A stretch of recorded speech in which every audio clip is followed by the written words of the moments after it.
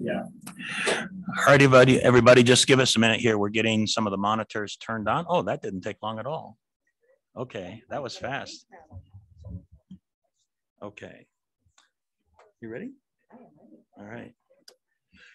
Good morning, everybody, and uh, welcome to the Wednesday, January 12th annual meeting for the Board of Directors for PPACG. And for those of you that uh, many, most of you probably know this, but we will have two meetings today. We'll have the annual meeting starting off.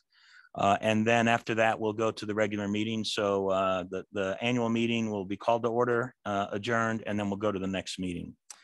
All right, so uh, this is a call to order. And if I could ask uh, Andy, as always, to establish a quorum for us.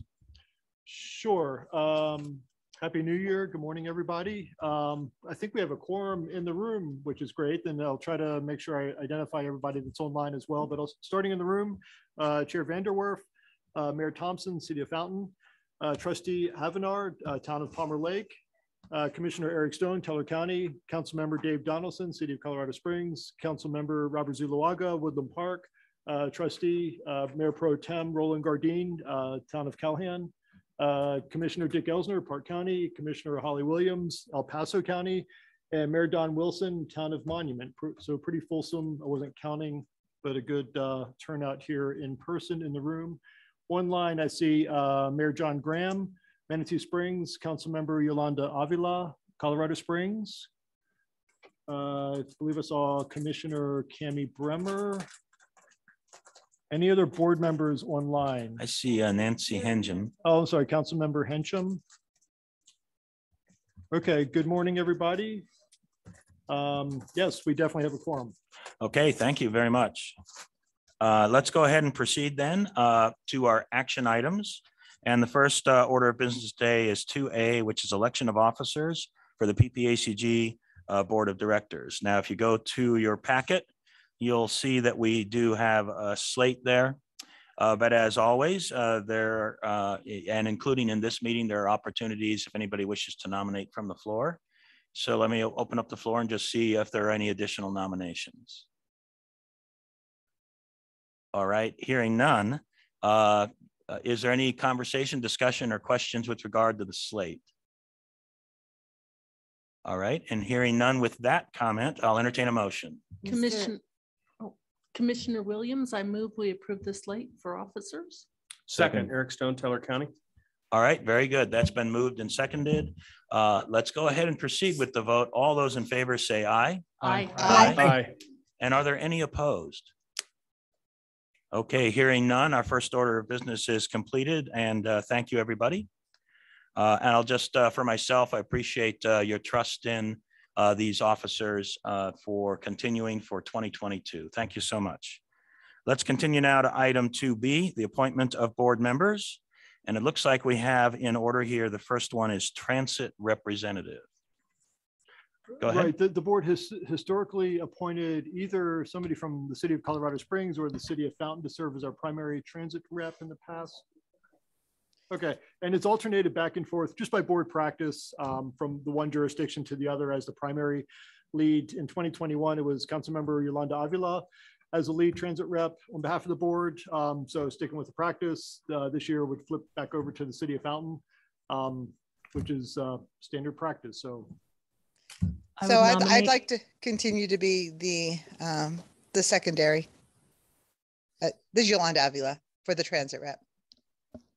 And just to make sure I understood that, uh, uh, Councilwoman Avila, you said uh, to be the second for this position? The secondary, uh, uh, Okay, the alternate. Sharon would be the, no, it's not an alternate, but um, Sharon would be the rep and I, I don't know if it's alternate. Can you clarify, Andy? Because we meet Uh, together.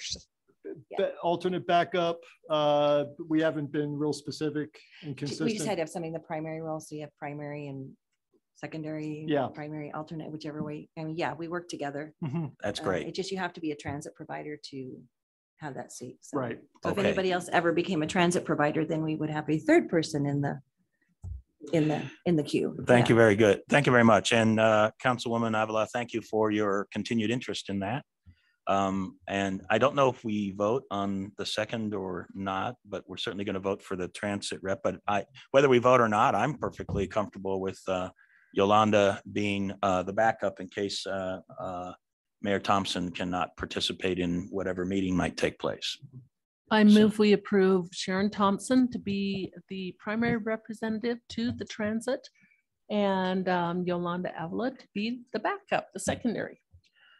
Second, Second, Eric Stone, John Teller County.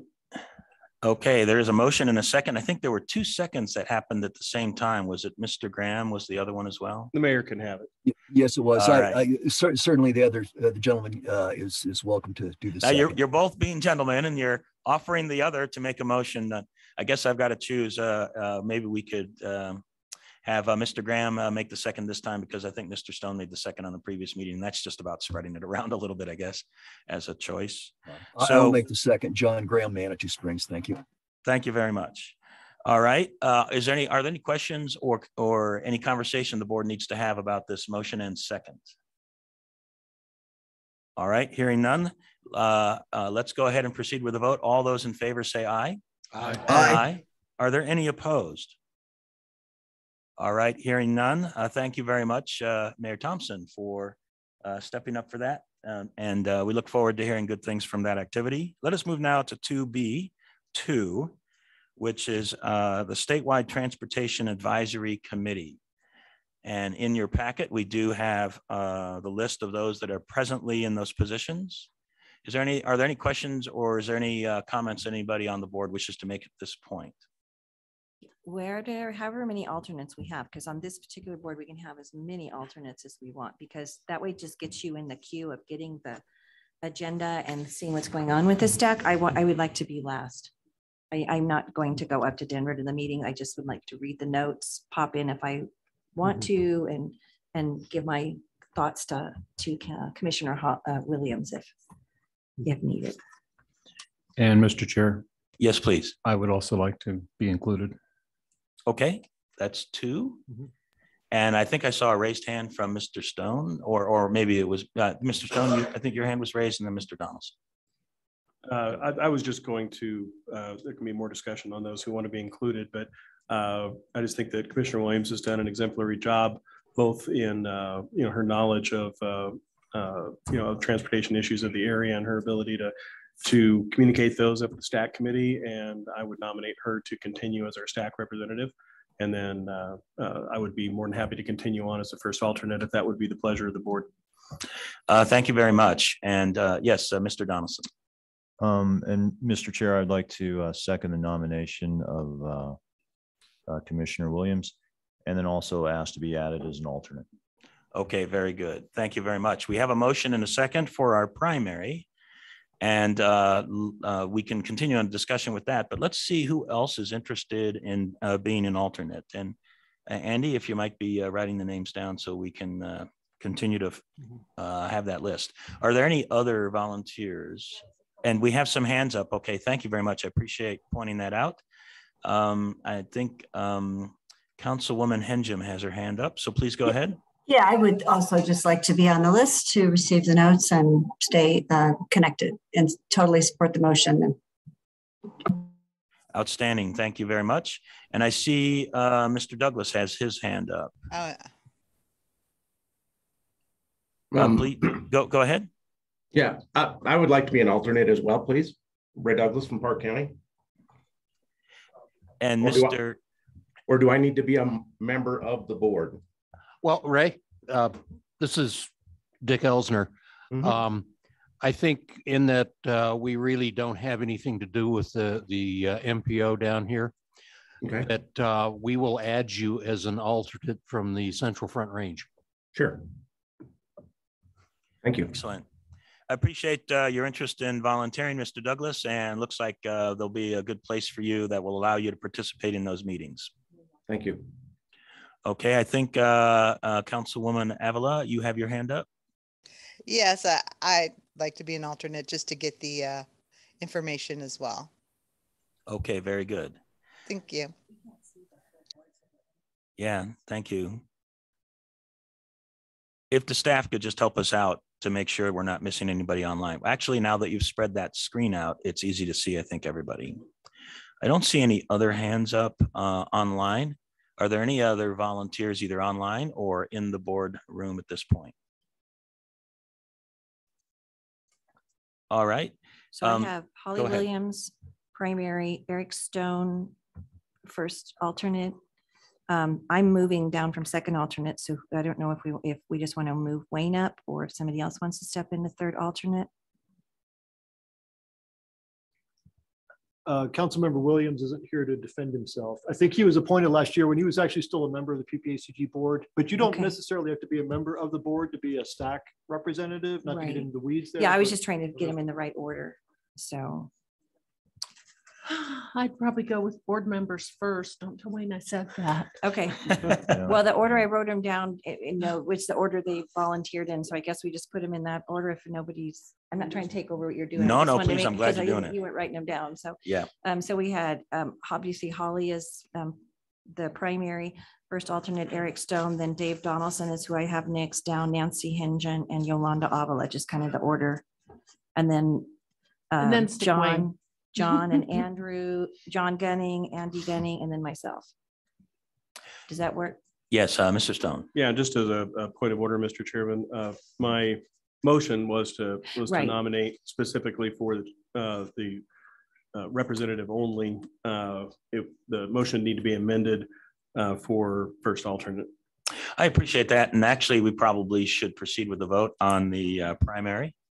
And uh, then we can continue the conversation with the alternates.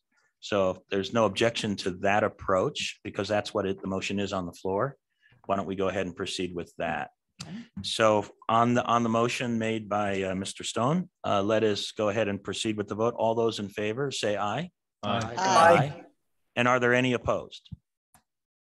All right, that passes and congratulations, Holly. All right, let's continue the conversation then with the alternates and um, let's see, I, I I see myself on the list and uh, I was happy to be an alternate. I never needed to go up to Denver. And it, I'm, I'm happy to remain on the list, but uh, I'm also happy to be at the bottom of that list just in case something happens and we have a bunch of people that can't make it, uh, to do my best to try to make it to the meeting to make sure we have representation.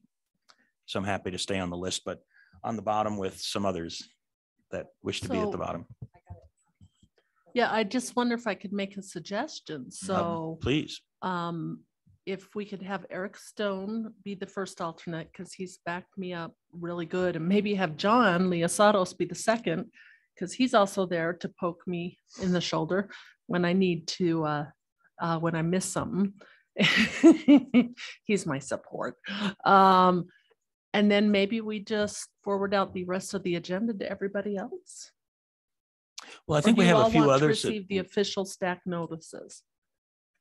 So the alternates would be our representatives to go to the meetings and, you know, I don't think there's a problem with everybody getting the notes, but I think we Mm-hmm. Need officially designated alternates, All whether we do that or not. And um, A couple years ago, we did have to go down to the third person, third or fourth person because of vacations and different things. So, yeah. okay. So um, there's a recommendation for Eric Stone as first alternate, John Liosatos as second alternate. Um, And then, okay. Go ahead and continue with the rest of the names. Okay, so if, if Commissioner Stone was number one and then John Leo Liosatos was two, um, just like I said, putting him in the order, Dave Donelson would now be three. uh, Nancy Henjum would be four. Uh, Yolanda would be five. uh, Andy Gunning would be six. Could I suggest Councilmember Zuluaga expressed interest, Oh. slot him in above me and somewhere in, in that range? Okay. Okay, so that would be, um, okay, five Yolanda, six Mr. Zuluaga, seven Andy Gunning. I'd put eight Wayne Williams. Oh, I have, okay, eight Wayne Williams, nine I Stan know, but he's Vanderwerf, and I'm number ten. Do I, you know, make no two more, make it a dozen? I think uh, also Councilmember uh, Donelson also said that. Oh, I'm sorry, Wanted to be I, I on thought, as I thought I read him as I thought he three. was read in as three. Did you read it? Yeah, Three. I'm in there. I'll go That's back to okay. sleep now. I'm sorry. No, it's okay. I can go through it again, but Okay. Uh, Hey, the great news is we're increasing the alternates. That means there's a lot of interest and uh, and correct me if I'm wrong, but uh, no matter where you stand on that stack, you're, I believe you're always welcome to participate in those meetings to go up there and and be Yeah. personally be a part of it. So just keep that in mind. Uh, And that gives you the opportunity, if you see something in that meeting that maybe that that our primary may be missing, or if there's some nuance to it, you can have that conversation with our primary uh, uh, uh, Commissioner Williams and make sure that uh, we've got those inputs as we go forward and try to do what's right for our community up there at that meeting. Yeah, so I was, Williams. I, I appreciate the full slate of people. Uh, just be aware, okay, there is a STAC meeting on Friday, so I will send that and we'll get that out. Um, probably for the next two or three months, we're going to have to be doing, uh, the governor will still require us to do Zoom. So they're easy meetings to attend. And then uh, maybe, gosh, maybe in June, we all should show up and just scare them to death. Just teasing. Okay. I, I think that uh, we should vote on whether That's that's an idea. official policy or not. I kind of like that approach. Mr. It would be fun. Yeah, and um, I'm the uh, representative to STAC from the Central Front Range. So if you can't get a hold of Holly and, and want to poke me, uh, Central Front Range covers um, rural El Paso County and Teller and Park counties. And of course, um, being a member of PPACG, uh, Colorado Springs is a very important part of that too, so. And that includes Calhan. So that would include Roland and um, it also, um, I will let Commissioner Geithner know too. We, we deeply appreciate one of our rural commissioners acknowledging the importance of the Front Range. Well, when I start asking favors, you'll know why. Hey, we're still working on the gondola idea over here. So All right, so let me, uh, let me review the bidding and, and, uh, I mean, we'll, we'll, we'll make this, uh, formal and go through a vote. Uh, but we have, uh, Eric Stone at number one, John Liosatos, number two, Dave Donelson, number three, Nancy Henjum, number four, Yolanda Avila, number five. Uh, Robert Zuluaga, number six, uh, Andy Gunning, number seven, Wayne Williams, number eight, myself, number nine, and Sharon Thompson, number ten. Are there any, uh, is there any conversation or interest in uh, either adding names or moving names around, or are we good to go? Any, any, let, let me just ask if there's any further comments at this point. Yes, sir. I just found out about the RTA uh, volunteering system. So I, I'd like to be part of the list. All right, let's add you to the list. Am I under you or what? Yeah. Yeah. Um, I, you would be Central Front Range. Okay. So send me a note and, um, we can add you to the Central Okay, Front Range right. alternate Thank you. list. You know, I like it though. See, we're adding members to two uh, representatives. Power in numbers, I think. So, all right, very good. Uh, Are there any, then any additional comments or questions with regard to that list? All right, hearing none, let's go ahead and proceed with the vote. All those in favor say aye. Aye. Aye. And are there any opposed? All right, none opposed. We're increasing the numbers, increasing our influence. I appreciate everybody's uh, willingness to volunteer, and that's a great list. So thank you, everybody. Let's move on to item number three or Mr. Chair? two. Yes, One simple Please. question for Holly before we move to the next one. please go ahead. You said the next meeting's is Friday. That's tomorrow, uh, this week. And what time, please? So the meeting is on Friday at nine AM via Zoom, and I will ask um, John to send out the details or Andy to everybody on the committee. So, Thanks. and Yes, um, You're welcome. They're, they're typically the second Friday of each month from nine to twelve, roughly. Yeah. I think, is that one going to start at eight thirty now? I think it starts at eight thirty now. oh, They had said they were at 8:30, but I think the actual invite said 9. But I'll have. okay, Yeah, we'll have to check that. So, very good. Okay, nine o'clock Friday. Okay.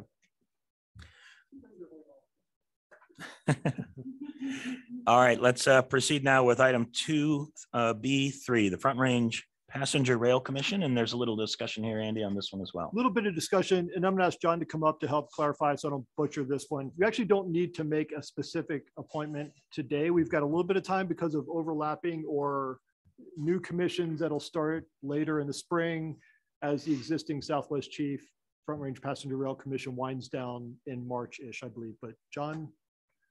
Uh, uh, uh, Thank you, uh, Mr. Chair, uh, members of the, uh, the board. So the Southwest Chief Front Range Passenger Rail Commission, of which Jill Gabler is our current representative, is winding down their business and shall probably cease existence and sunset in uh, uh, March or April of this year. Once that goes away, then the Front Range Pass, the the Front Range Passenger Rail District um, will uh, come into being.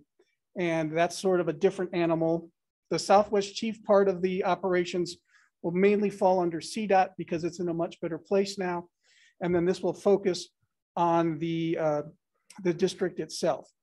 As far as uh, what uh, Mr. Gunning is talking about, um, or at least from, maybe I'm overstepping, but our staff recommendation is uh, continue to have uh, Jill Gabler, who's on the, the call here, so she can correct me if I got any of this wrong, uh, to continue to be the Southwest uh, Chief Front Range Passenger Rail representative, so she can ride, ride that ship all the way up to the end. Um, Yeah.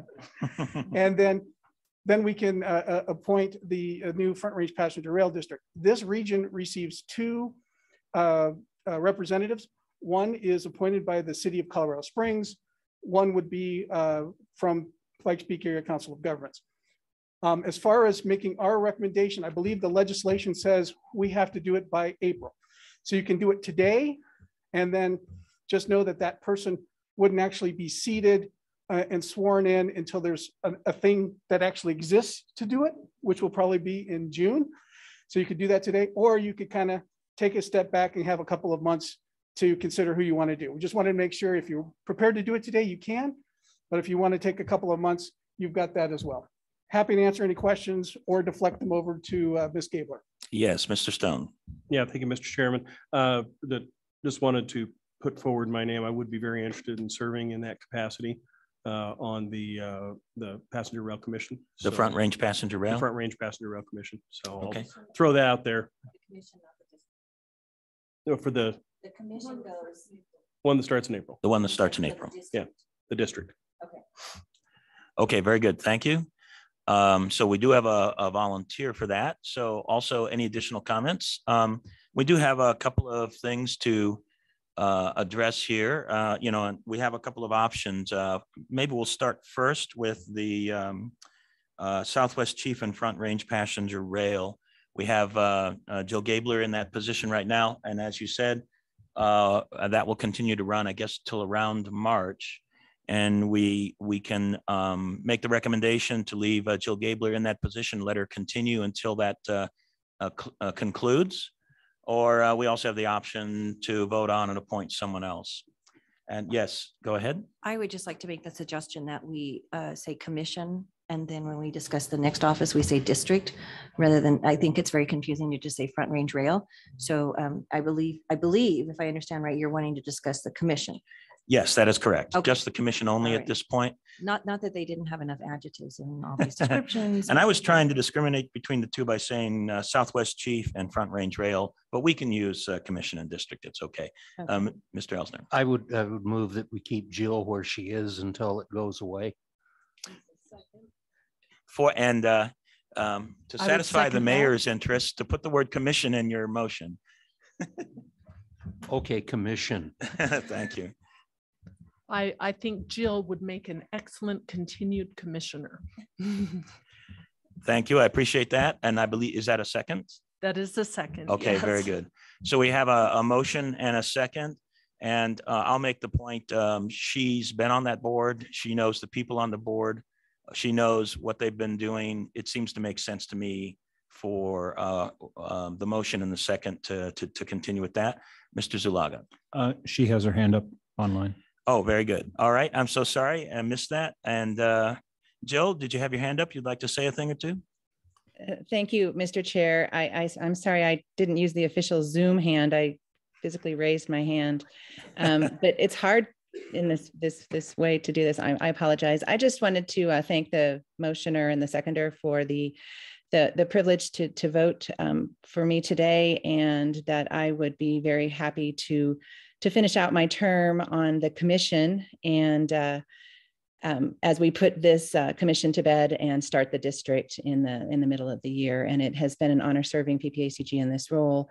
And um, I just really just wanted to thank you all of you. So, and I look I look forward to seeing who the uh, the board will bring forward. Hopefully, you will uh, choose somebody who cares a lot about passenger rail and wants to ensure we have reliable and safe transportation along our front range. So, thank you again, and I wish all of you a happy New Year.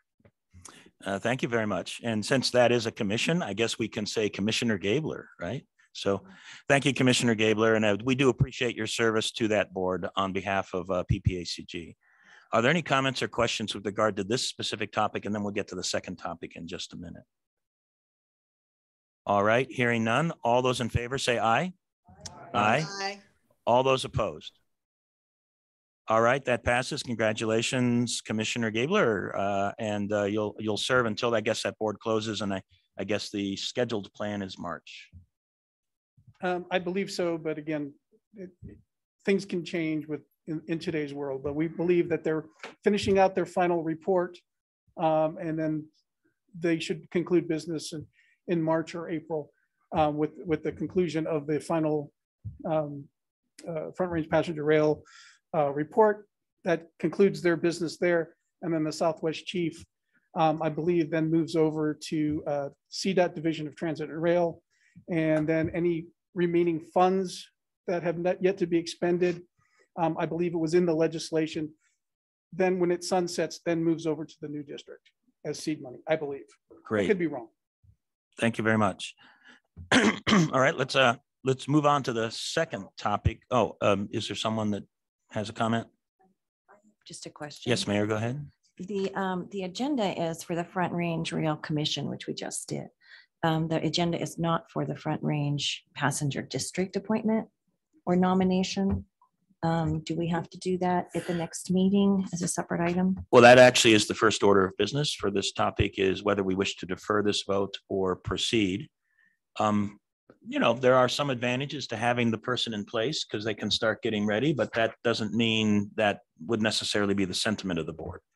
I, I'm okay with going forward. I just want to clarify what it, what was advertised on the agenda since we are kind of adopting our CORA and sunshine It's a, it's a good point. It's a good question. In reading the memo, I think we make a little more, we do clarify a little bit further about the different appointments for the different commissions and districts. Um, So even though that doesn't, what's in the memo doesn't totally align with how it's spelled out on the agenda, I think that's fine. Okay. Um, But I do have a suggestion on that note. I was also thinking too, and I was trying to telepathically communicate with John. I don't know, I've, I've got to do a little bit of research. I get, we have to make sure, I think, as PPACG makes its appointment to the district, does it need to be somebody within the district confines? And I don't have the definition of what it is in front of me, but my understanding was it was just within our region, it was El Paso County.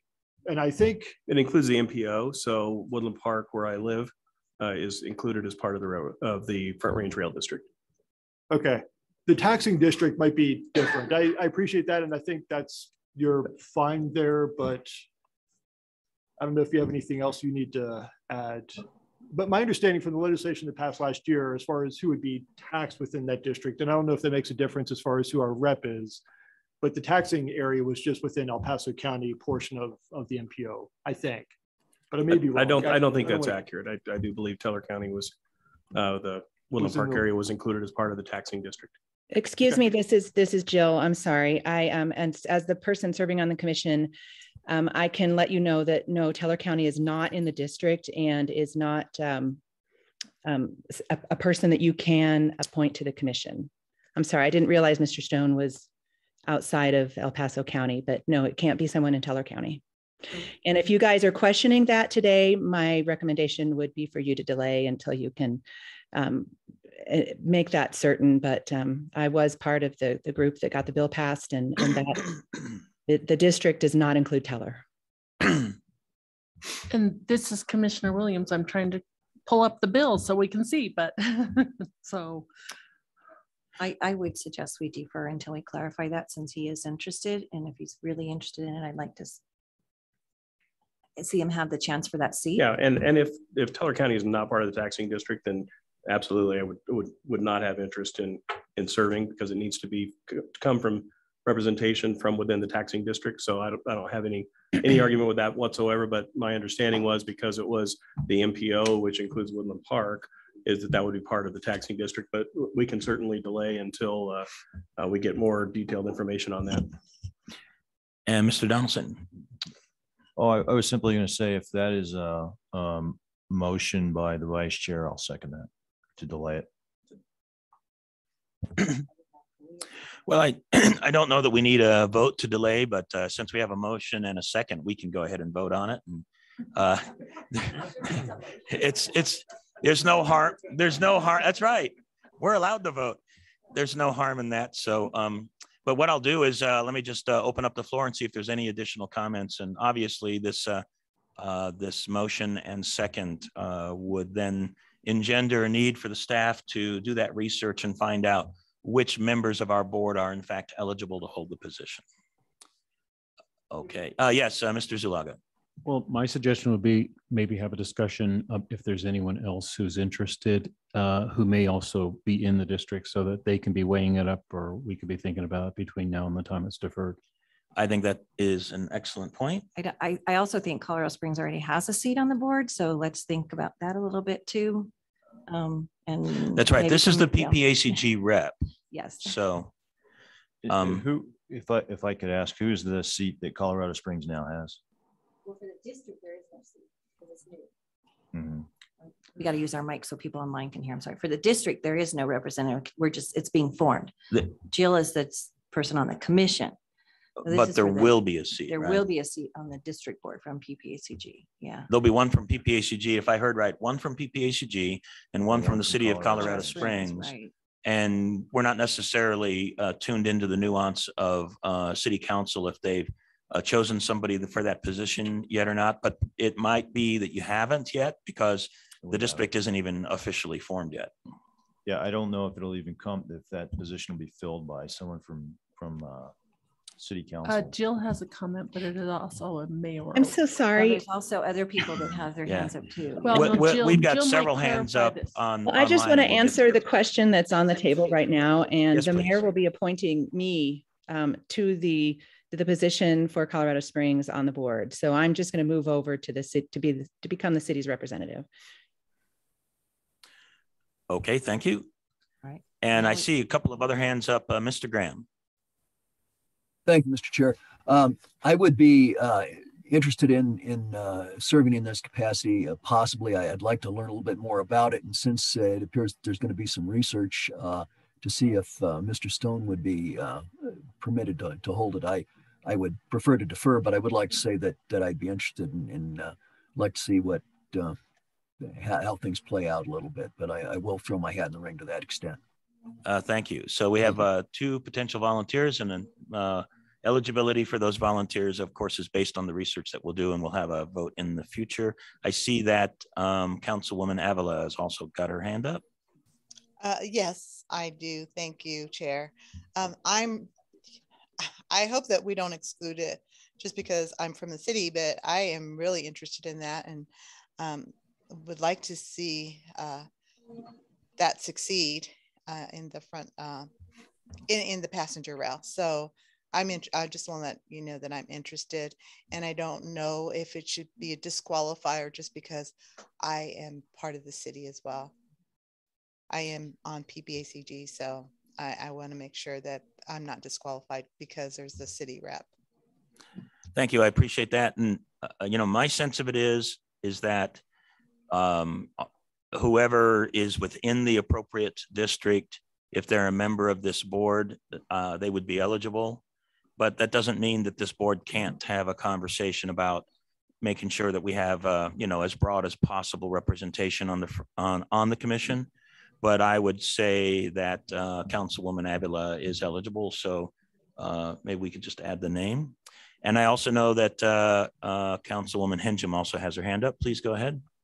Uh, yes, thank you. Um, actually, all I was really going to say is I think it's probably, I've heard a few people talk about learning more about the commission. I think it would be helpful.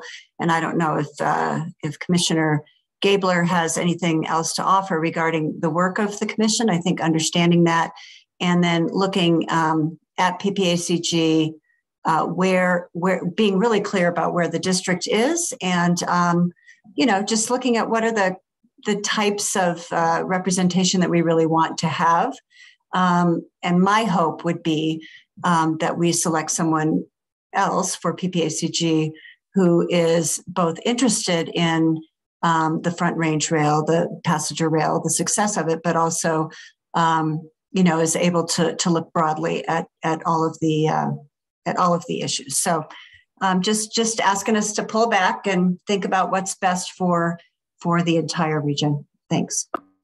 Uh, thank you very much. And we already have, we already have agreed to defer. Uh, go ahead, uh, uh, Commissioner Williams.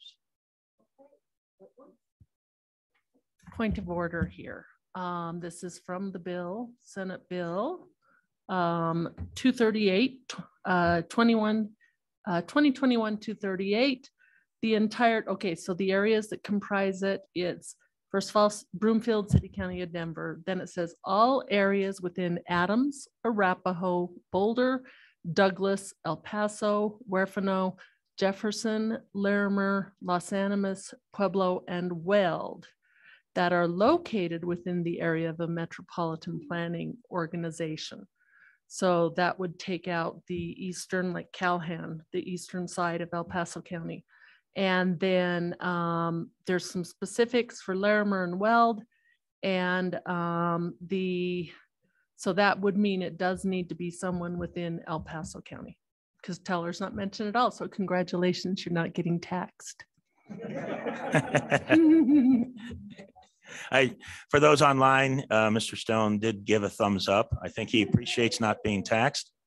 So uh, yes, uh, go ahead, John. Uh, Mr. Chair, members of the committee, first, uh, uh, before I get to my comment, my apologies for making the memo um, a little ambiguous. That that's on me. Uh, but the intent was to say, yes, you, you, you could have done that. So my apologies for, for not uh, No. betterist. Yeah, no, no need to worry about that. Um, uh, we're having a robust conversation here and I think it's excellent because it's helping us to get ready for when we do go to an appointment. And there was a recommendation from, um, Councilwoman Henjum to maybe make sure that we have a good understanding about the, the statute and the obligations and responsibilities. I see some other heads uh, shaking yes here in the room. So perhaps we could get that agendized. Um, and that will allow us to, you know, uh, possibly make a more informed decision about who we would uh, select as our representative. Yeah, and Mr. Chair, I did uh, invite uh, David Singer from CDOT to be at the meeting, but he had a conflict uh, because again, I wanted to make sure that we, actually, I anticipated this conversation to some extent.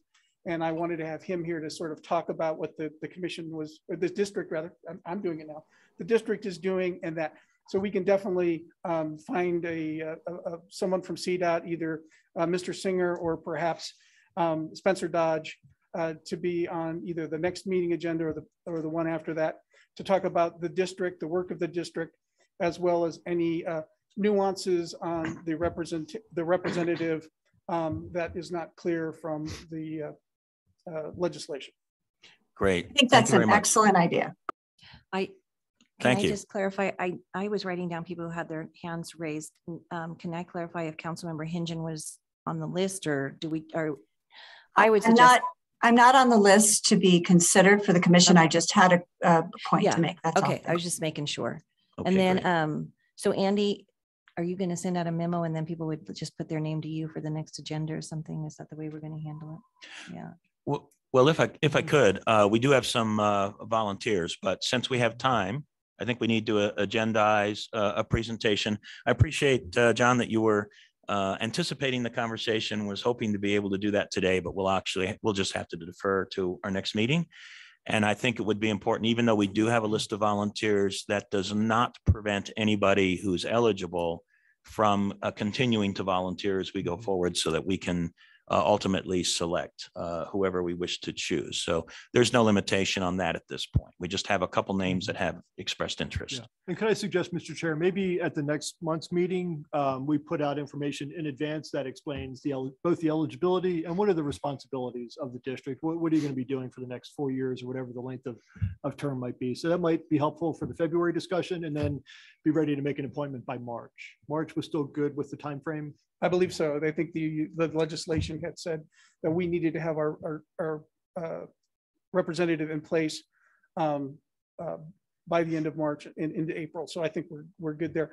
I will also, when I reach out to Mr. Singer from CDOT again uh, and have it in the memo, there might be some uh, discussion anticipating about alternates. So we will also find out how many alternates were allowed and, and if there's any uh, criteria based on that, because that might be another thing that you'd want to discuss. And hopefully we can get you the information on that in advance um, instead of at the meeting.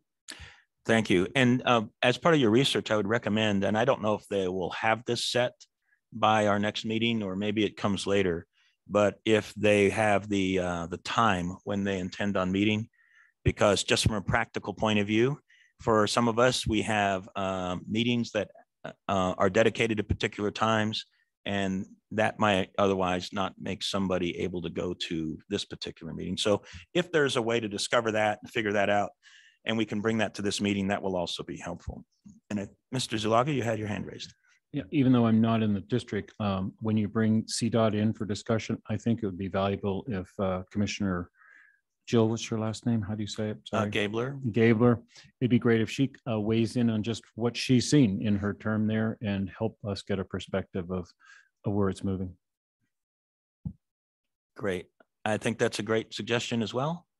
Because there'll probably be some, at least some, it, it is a new, it is a new, um, I'm going to try to say the right word. It is a new district and they'll have some different priorities and, and different uh, activities. But there is, at least some of that is a translatable kinds of uh, information. So, okay. Any other comments or questions? So uh, let's go ahead and uh, plan on trying to have uh, uh, a, a detail, a little bit more detail on, uh, you know, the considerations for the board at the next meeting and get that on the agenda. All right, thank you very much. we knew there would be some discussion that took a little longer than I thought, but it's all good. Our next item is uh, 2B4, the Drive Smart Colorado Board. Okay, and John, don't stray away too, too far. If you'll recall, this was uh, the newly comprised or restructured Drive Smart Board as we brought that nonprofit under the PPACG umbrella. We blended board members between the PPACG board and the existing Drive Smart Board. Uh, So the three council member, or the three members that served in 2021 were Councilmember Dave Donelson, Councilmember Yolanda Avila, and Mayor Sharon Thompson. Councilmember Avila expressed that she needs to step back from that, given other respo- responsibilities. And I know Commissioner Elsner expressed interest, since this is a regional, covers all three counties uh, with this traffic safety initiative that we're trying to really keep the momentum behind. Um, Just wanted to throw that out there. I know that had come up in previous discussions. Great, thank you. So we do have one volunteer. Mr. Elsner, go ahead. Yeah, um, having met with the, the, the director of Drive Smart, um, I really think it's something that, uh, the rural areas of PPACG need a rural representative. Uh, we are rapidly becoming, uh, some of the most dangerous highways in the state of Colorado between two eighty-five and twenty-four. And, um, I think working from that standpoint of how can we make some of our big rural roads uh, safer and uh, get the information out. Um, I would really like to serve on the board. Thank you. Yes, thank you, Mr. Elsner. And we do need to open up the floor to see if there are any other uh, interested members of the board uh, to serve in, in, uh, in any capacity on any of these three. But before we get to that, uh, Mayor Thompson, you have your hand raised. Yeah, I'd like to continue on the board also, please. Ah, thank you very much. Are there any other uh, volunteers? Or anybody else that have an interest? Yes, sir. We just had another death on I, I twenty-four, or Highway twenty-four. So, and the people in Calhan, we're all starting to get really concerned about the safety of that road. So I'd like to be part of the board. Okay, very good. So we have uh, um, two volunteers this morning. Are there any other volunteers? Who, who was that most recent volunteer? I couldn't hear and I didn't hear the name. Uh, I'm Roland Gardine, the Mayor Pro Tem of Calhan. I'm sorry. Okay, thank you. Thank you. Um, and I, I, oh, um, who just spoke up? Oh, please go This- ahead. This is Debbie Swanson. I'm online. I'm a member of the Commission on Aging. Would I be uh, eligible to participate as a potential board member of Drive Smart? Probably not as a board member, but certainly um, eh, come to the meetings. We will include you in the distribution list for sure. And you could be an active member of the um, conversation, absolutely. But uh, might have to stop short of actually voting for things that the other, that the board members vote for. But uh, the more the merrier. We'd love to have more involvement. I, I'd like to be participating in that. So shall I send you that information, my, my uh, contact information, or you can get that from Melissa Martz? We can, I see Jody with his hand up. We, we know where you are. We'll, we'll track you down. Thank you, Debbie. Great. Thank you. Super. Appreciate it. All right. Yeah, yes, uh, go ahead. uh, And, and if I may, again, the, this is a blended board, so the spots that we're talking about now um, with uh, uh, Councilmember Donelson continuing and Mayor Thompson continuing and finding replacement for, for uh, um, uh, Councilmember uh, Avila. Uh, These three spots are specific to the board. That being said, the Drive Smart Colorado Board has the top uh, law enforcement officials and other safety folks. So your, your participation in the board is not something that would happen today, uh, but it's not something that is out of the realm of possibility uh, through that other process. And we will get uh, John Henry, who's the president of Drive Smart Colorado, and let him know that you're interested. And then that would be a separate process. Just wanted to clarify that because there are folks at large that get on the Drive Smart board through that process. Okay, great. Now we have um, two that I believe, um, uh, Mr. Donelson, I think you have, are, are you interested in continuing to serve on the board? Just Um, haven't heard from you. Yeah, I am, but if, and I would, my only concern would be that if Colorado Springs had no representation, perhaps we should have at least one spot. But I would be, uh, I would, in a way, I'd be happy to step aside for uh, Mayor Pro Tem Raleigh, what's your last name? Gardine. Gardine, uh, and, um, and uh, Mr. Dick Elsner. Uh, So I'll, I'll leave that to others to uh, make a choice between us. Okay. And we have the option, oh, yes, uh, Mr. Zuluaga. I'm not interested in serving on the board, but I would like to be included in the email on it to keep up with the, um, Very good. Thank you very much. Um, so we have a couple of options here. We've got, uh, I think, uh, two that are continu, that are serving presently and have expressed interest in continuing, and we have two volunteers. And I guess at this point, um, well, we need to have a conversation about how we're going to proceed with a vote on this, but perhaps, perhaps we can ask someone to make a motion and see what the motion might engender. I thought I heard uh, Councilmember Donelson say he would withdraw his name to serve on the board. Is- Did I That- misunderstand that? Um, I will. My, my only concern would be that Colorado Springs wouldn't have, uh, representation, but I, I'm, I think Chief Niski, he's, he's part of the board, correct? Correct. And is there any other Colorado Springs representation? Out of how many members? Good question. Let's go ahead and flip the cards. You've stumped our expert. I, I, I don't have Don't the, recall. uh, Okay. I don't have Okay. the, uh, the makeup of the uh, Drive Smart Colorado Board uh, memorized. Unfortunately, uh, uh, John Henry couldn't be on the call today, so I'm, I'm gonna have to punt. I apologize. Okay. Can you tell us who, we're supposed to have three, who's the current nominees? So we, we have um, current serving members, Dave Donelson and Sharon Thompson, uh, who have both expressed an interest in continuing to serve uh, with Mr. Donelson's willingness to defer if the board sees fit to maybe install the other two volunteers that we have. And um, I, I, I'll just, I think it's, it's a, I think it is appropriate to have somebody from a rural area on this board. I think that makes sense uh, because we do have um, urban representation and we definitely have challenges and issues on our on our rural roads within the PPACG uh, jurisdiction. Uh, but having said that, I mean, this is you know where the board wishes to go. Mr. Donelson, I see your mic still on. Did you have a further comment? I would just say that after thinking this through for a minute, I, I do think it would make sense to have maybe one rep from the Springs, definitely one from a rural area, and then uh, Fountain also. So I guess I would like to be considered. I'd like to remain. Okay, thank you. So um, uh, at this point, I guess we need to entertain a motion. Yes, uh, where, oh, um, okay, uh, Councilwoman Avila, please. Oh, I, I, I was gonna say, I thought we really needed a represent, representative from Colorado Springs. And Dave said he was gonna be in it, so, okay, I'm, I'm good. Okay, thank you very much. Are there any other hands raised online? Just making sure. Well, and I was, you were reading my mind. I was thinking it's probably, even if we don't spell it out in the bylaws of Drive Smart, we can maybe amend the bylaws. I, I would really encourage that others that are interested come as well and serve as alternates. And I don't think that makes a big difference between who's an actually, actually a voting member versus an alternate. We're trying to cast a wider net and really do what we can to drive down our serious and fatal crash rates we have across the region. So the more elected officials working alongside with our law enforcement officials around the marketing that we can do in this area, the, the better. So um, I, I think it would be okay to have some informal alternates part of this as well. Well, I was gonna say, I would love to have an alternate because I think between three people serving on a board, there's probably gonna, the odds are one of us is probably not gonna be able to make it, Right. you know, and um, to have somebody be able to step up and vote, I think that would be, All right, Y- yes, uh, Mr. Stone.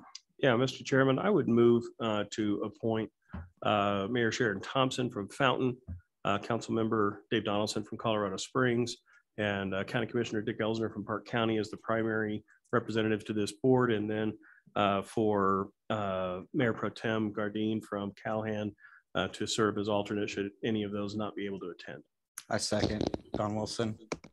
All right, that's been moved and seconded. Let's uh, uh, just see if we have any additional comments with regard to that. And uh, Mr. Gardine, uh, do you think uh, you might find that acceptable? Absolutely. Okay, very good. Thank you very much. All right, so any other comments or questions with regard to that? All right, appreciate the motion and the second. Let's go ahead and proceed with the vote. All those in favor say aye. Aye. Aye. Are there any opposed? All right, thank you very much, uh, ladies and gentlemen, for serving. Uh, Yes, Mr. Elsner. Yeah, I would just like to say that um, we had a long discussion when we were going to take on Drive Smart uh, as to whether we should or not.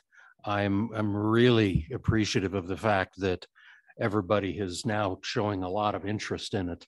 Um, And hopefully this board and, and this, organization will do a lot of good work because we're getting to a point now where um, education is becoming critical because we have a lot of people that I think forgot how to drive or never learned how to drive. And uh, I think Drive Smart is going to become a very vital part of trying to get us back to, to where people understand what yellow lines mean, what white lines mean, and uh, what a stop sign means. Thank you.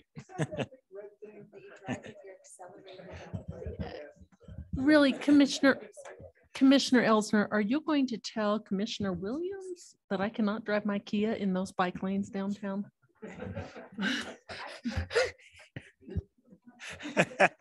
Mr. Elsner was intending on making a comment and then shows uh, it's the better part of valor not to do so. All right. For those online, we're, we're, we're having uh, a little fun on a few comments here, but to Mr. Elsner's point, uh, I, I agree with that. I think, um, I think this board has made a good choice in picking up Drive Smart, which is about driver safety education. And education is such an important part of what I think public agencies can and should do to, to help uh, our citizens. So I'm, I'm glad that we picked this up. And I'll also um, mention the point that there, real, there, there is a real interest on this board with Drive Smart. So I think we've made a good choice and we'll continue to do that going forward. So thank you, everybody, for that. And then for those that are not officially um, an appointed member or a voted member or alternate, um, participation in those meetings, I'm sure, is still absolutely possible. You can be part of those meetings if you wish to be so, wish to do so. Go ahead. Yes, Mr. Chair, members of the, of the board. Uh, Yes, uh, our intent is uh, the, to move those meetings here to PPACG and have them be uh, hybrid. So you will have the ability to, to tune in, just to kind of listen in on, on what's happening and, and hear the activities. So we will continue to keep you in the loop. Okay, very good. Now, um, let's move on because we've con- concluded with that business item two B, excuse me, two C, which is our twenty twenty-two sunshine and CORA compliance. Didn't know if you guys needed me up here. Um, members of the board, Jessica McMullen, your Policy and Communications Manager. Every year, the Board of Directors is required to designate two things.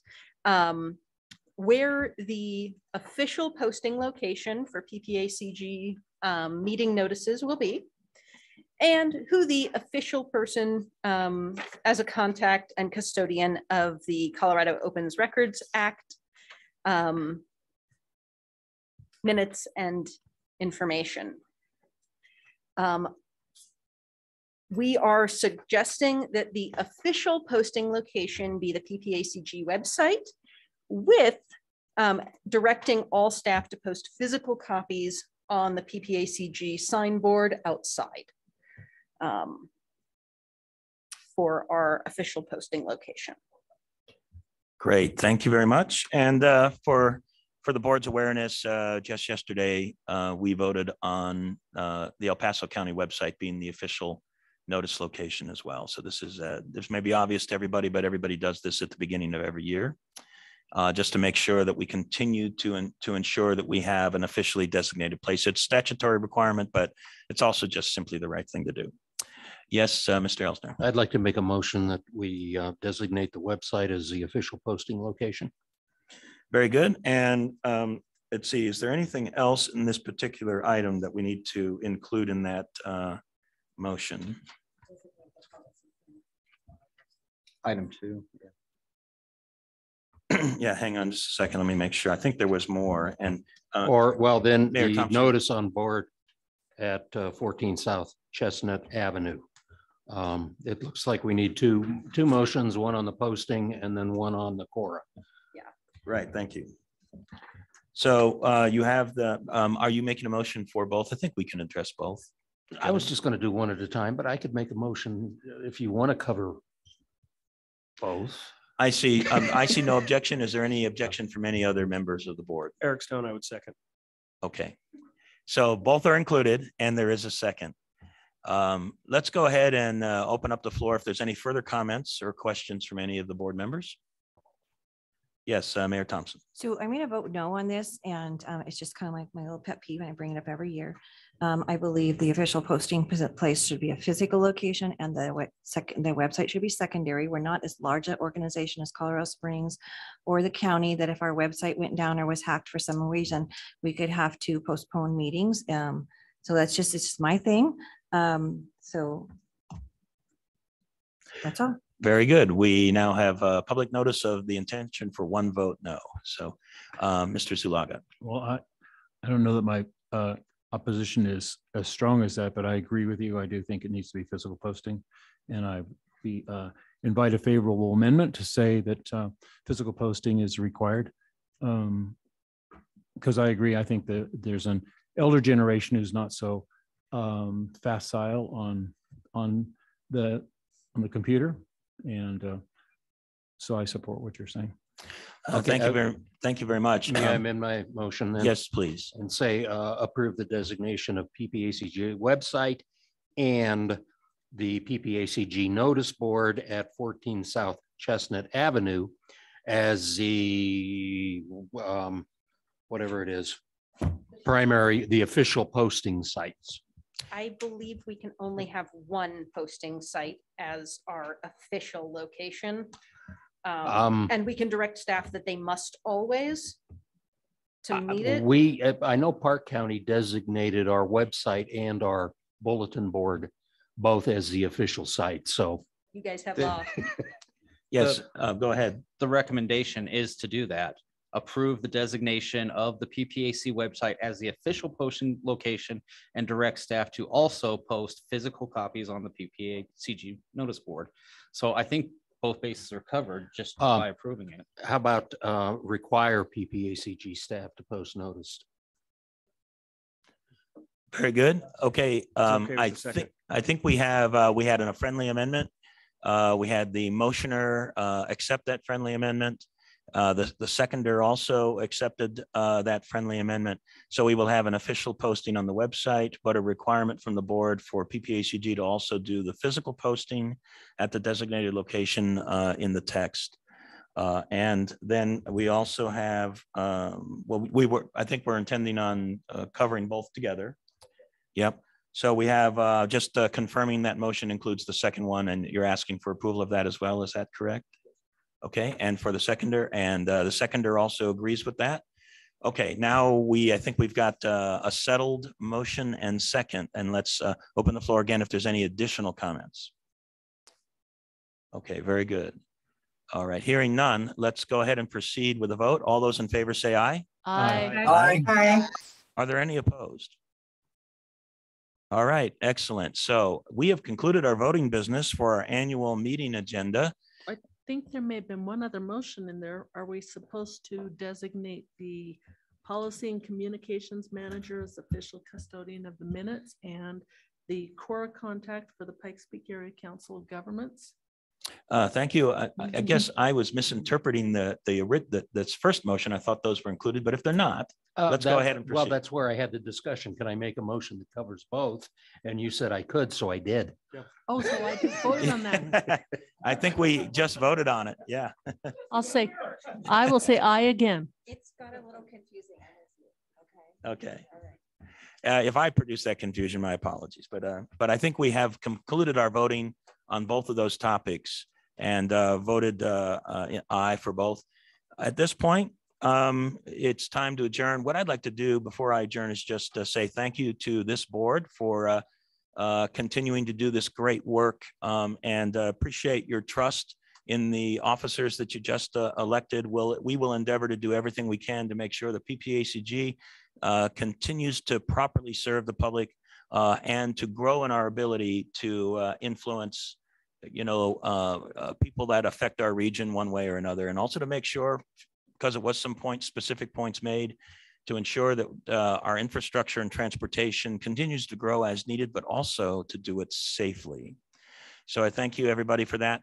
Uh, I'll go ahead and adjourn this meeting at this point. Could we take a five-minute break before we go to our regular meeting in case anybody needs uh, comfort break or so forth? So let's go ahead and take a five-minute break. We'll reconvene at 10:10 if that's acceptable.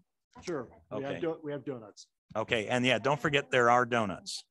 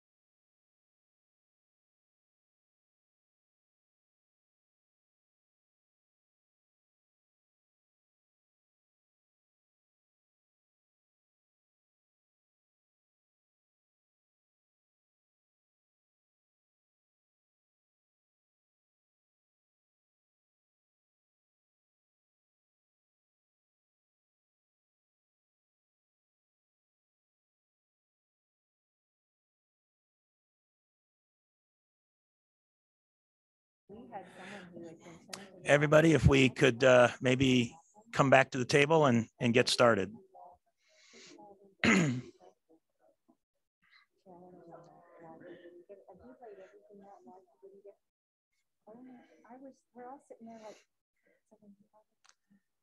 And just another uh, quick note, if we could all come back to the table, please.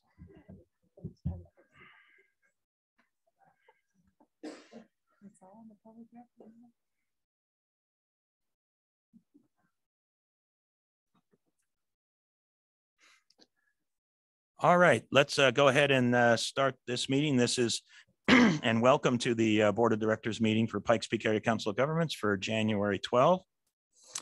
Our first order of business is uh, call to order, and I'm calling the meeting to order, and I believe we still have a quorum. Is that correct? I, That's correct. easily. okay, Yep. very good. And uh, we also offer an opportunity here for introductions. Do we have anybody that's uh, a new participant in a PPACG meeting at this point? Uh, We do have Gordon Rick, who's going to be the alternate for Fountain on there. Um, okay, would, would Gordon like to say a word or two? Yes, sir. Thank you. Uh, Appreciate the opportunity to be uh, participating as an observer and as an alternate. Uh, I spent two years, or excuse me, about a year plus on the PPACG CAC. Uh, So I'm familiar with uh, things that go on here, and I look forward to working with everyone in the future. Thank you. All right, thank you very much. I do see uh, another person online, and we, if we could ask uh, Mr. uh, Dan Jablan to uh, introduce himself. He is our new lobbyist in Denver, and if you have not had a chance to meet with him, he'll introduce himself here. You'll get to know him a little bit, but I would also ask you when you have the time to maybe reach out to him so he can get to know uh, all the board members. Mr. Jablan. Hi, thank you. Uh, yeah, as you said, my name is Dan Jablan. Uh, I'm new, new lobbyist, uh, taking over from Lauren, who's gone on uh, to be president and CEO of the Colorado Chamber. Been down in that the, uh, I think this is my 21st session between lobbying in Colorado and New Mexico um, at the Capitol. Looking forward to working with all of you, meeting with all of you. I'm down here now. Um, their speeches are just getting ready to get uh, kicked off at the widget factory across the street from my office. And I look forward to a, a nice year with all of you. Uh, please reach out to me with any questions. I know Jessica has all my contact information. I think she was has forwarded it on to you. And I am open uh, for any questions at any time. So I look forward to working with you. Uh, thank you very much, and thank you for your participation in this uh, board meeting. I'm sure that's uh, helpful to kind of see some of the interests and sentiments of the board. Are there any questions for uh, these two new folks that just introduced themselves from any members of the board? All right, hearing none, let's go ahead and continue. Our first item of business that requires a vote is our agenda approval. Do I have a motion in a second? Move to Yolanda, move approve to the approve. agenda. Okay, Mr. Second, Elsner. Yolanda. Yeah, and Yolanda, uh, you've got the second. Thank you. Uh, Any comments or questions about the agenda before we vote? All right, hearing none. All those in favor say aye. Aye. Aye. Are there any opposed? All right, we've got a good agenda. Let's continue with item number three, public comments and presentations. Is there anybody here physically that uh, would like to provide public comments at this point? And hearing none, is there anybody online? All right, and then we also allow um, public comments to be emailed in advance. Do we have any comments that were emailed in advance? Uh, we do not. All right, very good. So uh, item number three is concluded. Let's move to item number four. These are consent items, and there are two. Uh, The approval of the minutes from the December 8th, 2021 regular, or regular meeting and the summary of financials. Are there any comments or questions from any of the board members regarding these two items? All right, and like, I see some pre-coordination going on for the motion and second. Go Move ahead. to approve the consent items. Second, Erik Stone. All right, that's been moved and seconded. Uh, One last opportunity for comments or questions from any of the board members? Hearing none, let's go ahead and proceed with the vote. All those in favor say aye. Aye. And are there any opposed? All right, hearing none, those consent items are now passed. Let's move to item number five. And our first action item is five A, our Area Agency on Aging, the Subcommittee Carryover Funding Approval. Thank you, sir. Good morning. Thank you, Mr. Chair, members of the board. Uh, Jody Barker here, your Area Agency on Aging Director. And uh, today I'm just bringing uh, before you the uh, Technical Review Subcommittee of the Regional Advisory Council's uh, recommendations for uh, carryover funding. And I thought I'd just give a little bit of a background since this is a little different than what you've seen uh, from us um, before the, for, for new board members. Um, every year our funding comes to us by the state fiscal year. State funding has to be spent within that fiscal year. However, federal funding that has a balance at the end of that fiscal year may be carried over into the following fiscal year. And so um, this funding, uh, we go through a very similar kind of a mini RFP process to let our providers know that there is funding uh, coming available. We ask them to, um, to lay out their needs there's a very narrow uh, usage allowance for these funds. Uh, for example, it can only be accessed by currently contracted providers. It has to be used for currently contracted service line items, so they cannot um, uh, recommend a different uh, service than they're currently contracted for cannot be used for capital expenses, that kind of thing. And so we keep that conversation very narrow as to uh, what they're, they're, allowed to use those, those funds for. Um, the carryover that we're looking at today is actually from the 2021 fis state fiscal year. And during that fiscal year, we received an inordinate amount of CARES Act funding with no match requirement with the uh, uh, mandate from the state and the uh, federal organization that oversees our funding, uh, Administration on Community Living, that it must be spent first. Therefore, we have a fair, fairly significant amount of carryover funding uh, that is uh, coming back into our region uh, right now. And so you'll see there in the memo some additional uh, background information. Um, but what we've done, because there's a very narrow window of time allowed to use the carryover funding as well, it must be spent by June 30th of 2022. And because we uh, rarely know when the carryover funding will actually show up, um, and this year has been a little bit challenging because of the federal continuing resolution. Um, we, uh, we went ahead uh, as a staff working with our regional advisory council and with our subcommittee, the technical review subcommittee. We went ahead and issued that mini RFP, had the discussions, uh, went through the voting process. It has gone through the TRS now. It has gone to the Regional Advisory Council rec with recommendations and voting to approve. Um, and so uh, as it happens, uh, we actually did receive our option letter on Monday. So did not expect that. Um, frankly, we were expecting probably February or March. And so we're well ahead of the game by having already taken these steps internally. Um, our staff uh, also already have um, taken steps to produce the contract amendments.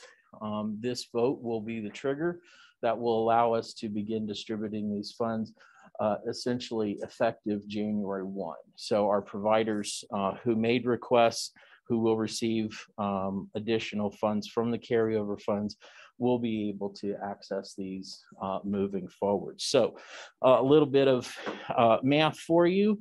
Uh, we expected to receive 1,756,586. The actual option letter with some year over year corrections uh, came to $1,757,414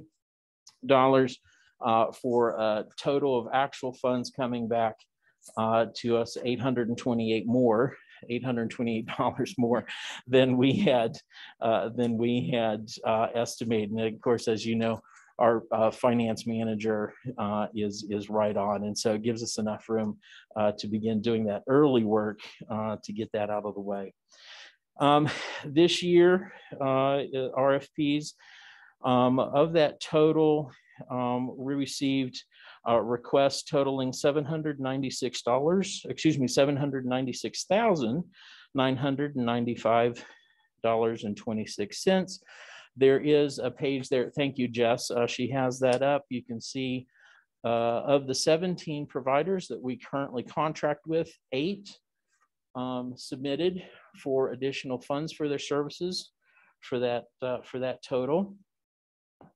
And so, um, uh, again, this has gone through all the appropriate processes with our uh, review subcommittee and the Regional Advisory Council.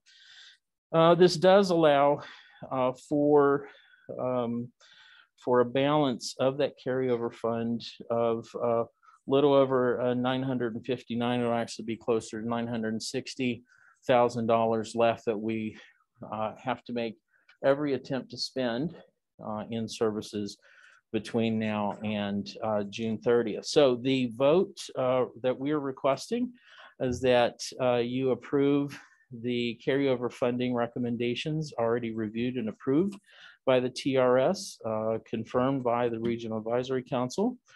Um, the second part of that request is that we leave that open so that staff working with the TRS may continue to move forward rapidly to distribute the rest of those funds. So there will be ongoing conversations with the, the uh, TRS and the RAC um, to, uh, to both solicit our requests from our providers as well as to uh, get those funds back out. A couple of points as well. The state is going to be um, enacting a 10% cap on carryover. So it is in our best interest to spend um, appropriately and swiftly so that we can maximize the dollars that will be coming back into the region in future years. Um, we will be reporting out the ongoing usage of this. Um, and so you will continue to see uh, reports like this from us as we get requests and, um, and uh, go through the process uh, to get those contracts amended. And uh, last point, I do want to share that this amount uh, was included in the budget that you recently passed um, for this year. And so you've already seen this, this amount and this estimated amount um, in the most recent budget um, that you approved. So with that, I will leave that to any questions. Great. Are there any questions from any of the board members with regard to, to this budget? I see Mr. Zuluaga. I might have a question. Yes, sir. Yeah, it's kind of an ancillary question, but um, are you reaching out to our, our respective uh, regions to let those providers know that these funds are available so that they can maximize the opportunity here? Absolutely. We go through a communication process that immediately, as soon as we knew what the actual amount was or the estimated amount, we reached out to all 17 of our providers. Uh, first, by, uh, by general email saying that it would be available. Then we put together a follow-up meeting uh, requesting everyone's presence uh, at that meeting. We did it by Zoom to maximize uh, the folks that would be able to attend, uh, either directors, program directors, EDs, um, or representatives from their organizations were invited to attend. We talked all about the uh, carryover funding, what it would look like, how it could be used, what it can't be used for, uh, and we also talked about some additional funding that's that's going to be coming in. So we make every attempt um, to make sure that we have either a positive uh, response from them by way of a request or that one of um, either myself most commonly or one of my staff has a negative uh, response from them. So we don't, I, the way I work, I don't like to just leave it out there assuming that they're not responding because they don't want to. I will call the provider and say, do you or don't you? Because I want to hear that so I know I'm not leaving someone out. My Great. follow-up question, have you had positive response? at the- Yes, uh, well, we received um, eight, eight who requested funds for that seven hundred ninety-six thousand dollars. The others uh, that we heard back from were uh, don't need it, don't have capacity, or the needs that we have currently right now are covered by the current funding, or will be making requests for the ARPA funds that will be coming in sometime this spring. So I, we communicated with every single provider. One of, the- if I could just add, one of the key uh, driving factors though, too, the universe of who's eligible to apply for these funds has to be one of our existing AAA aging uh, contractors. So we're just now starting the process, or we're, we're into the process now for next state fiscal year, July 1, 2022. Correct. So anybody out there in the community in Teller County, they, Teller County Senior Coalition, they know about it and others that are providing service. Now is their time to get in for next state fiscal year to also be eligible for these funds when they come around next year. So the- It's great that you say that because that was my, ne- my next thinking is like, so, okay, it's great for the existing providers, but what doors open for those who, who want to be new providers? Yeah, And- so we actually take, uh, we take folks on waiting lists to make sure that we know that they're interested. Um, and so when the, um, we did a, um, a NOFA, a call for, a call for, uh, funding availability. Um, we expanded how we've done that in the past. Um, by statute, we're mandated to, uh, the only requirement is that it go into one newspaper of each county. What we've done as a staff is reached beyond that. Uh, we've solicited that directly out to current providers, future providers, um, providers that we know have services that we would like to see um, within the area. We've broadened our invitation process. Um, we met with um, several providers who have expressed interest in next year's uh, funding um, so that they could ask questions. We could tell them more about how the process works. Um, because our goal is to ultimately uh, make sure that there's a broader, even broader scope of services available to our community. So we take every extra step, not just the minimum uh, that we're mandated to by statute. Thank you very much. Certainly, my pleasure. Great, thank you. So uh, any other comments or questions with regard to item five A? Yes, uh, Mr. Donelson? How about, oh, I'm sorry. Yeah, he's, he had his hand up too. And then Mayor we'll get to you immediately afterwards. Jody, you mentioned we would also be um, just receiving updates about other applicants and um, disbursements. Would that be on a monthly basis each month from going forward? We're gonna get that. We'll, we'll probably put it into, uh, either into our, uh, Regional Advisory Council, uh, uh, update that gets included in your packet. That'll probably be the easiest way to make sure that you have that information. Um, our goal is to make that a continuing conversation every month because we want them to access that funding. We want them to, to, to be able to use that and spend that down because that is money that is already, that already belongs to Region Four. It's just a year later. So. Yeah. As far as um, reporting out, yeah, I'll include it in, in my report. We'll have it in the RAC report, but I'll make sure I bring it up each month too, so you know. So there may Thank be you. some months that we don't have anything, but we will make sure you have what we have. Yes, sir. Great. Mayor Yes, Thompson? Mayor. I just want to make a comment. I really appreciate your approach of broadening it. I believe when I first got on PPCG eight or so years ago, it was pretty much the same people, few, very few providers um, annually every year. And, and I'm just always excited every year to see new providers and find out about them. I believe we have a meeting with a new provider Mhm. sometime in the next couple weeks. And um, I just think it's, it's great to see that many uh, new people cut and flowing through. And then some come and go. They're on a year, then they're off a year and, and that's okay. But um, I, I appreciate that approach. Thank you very much.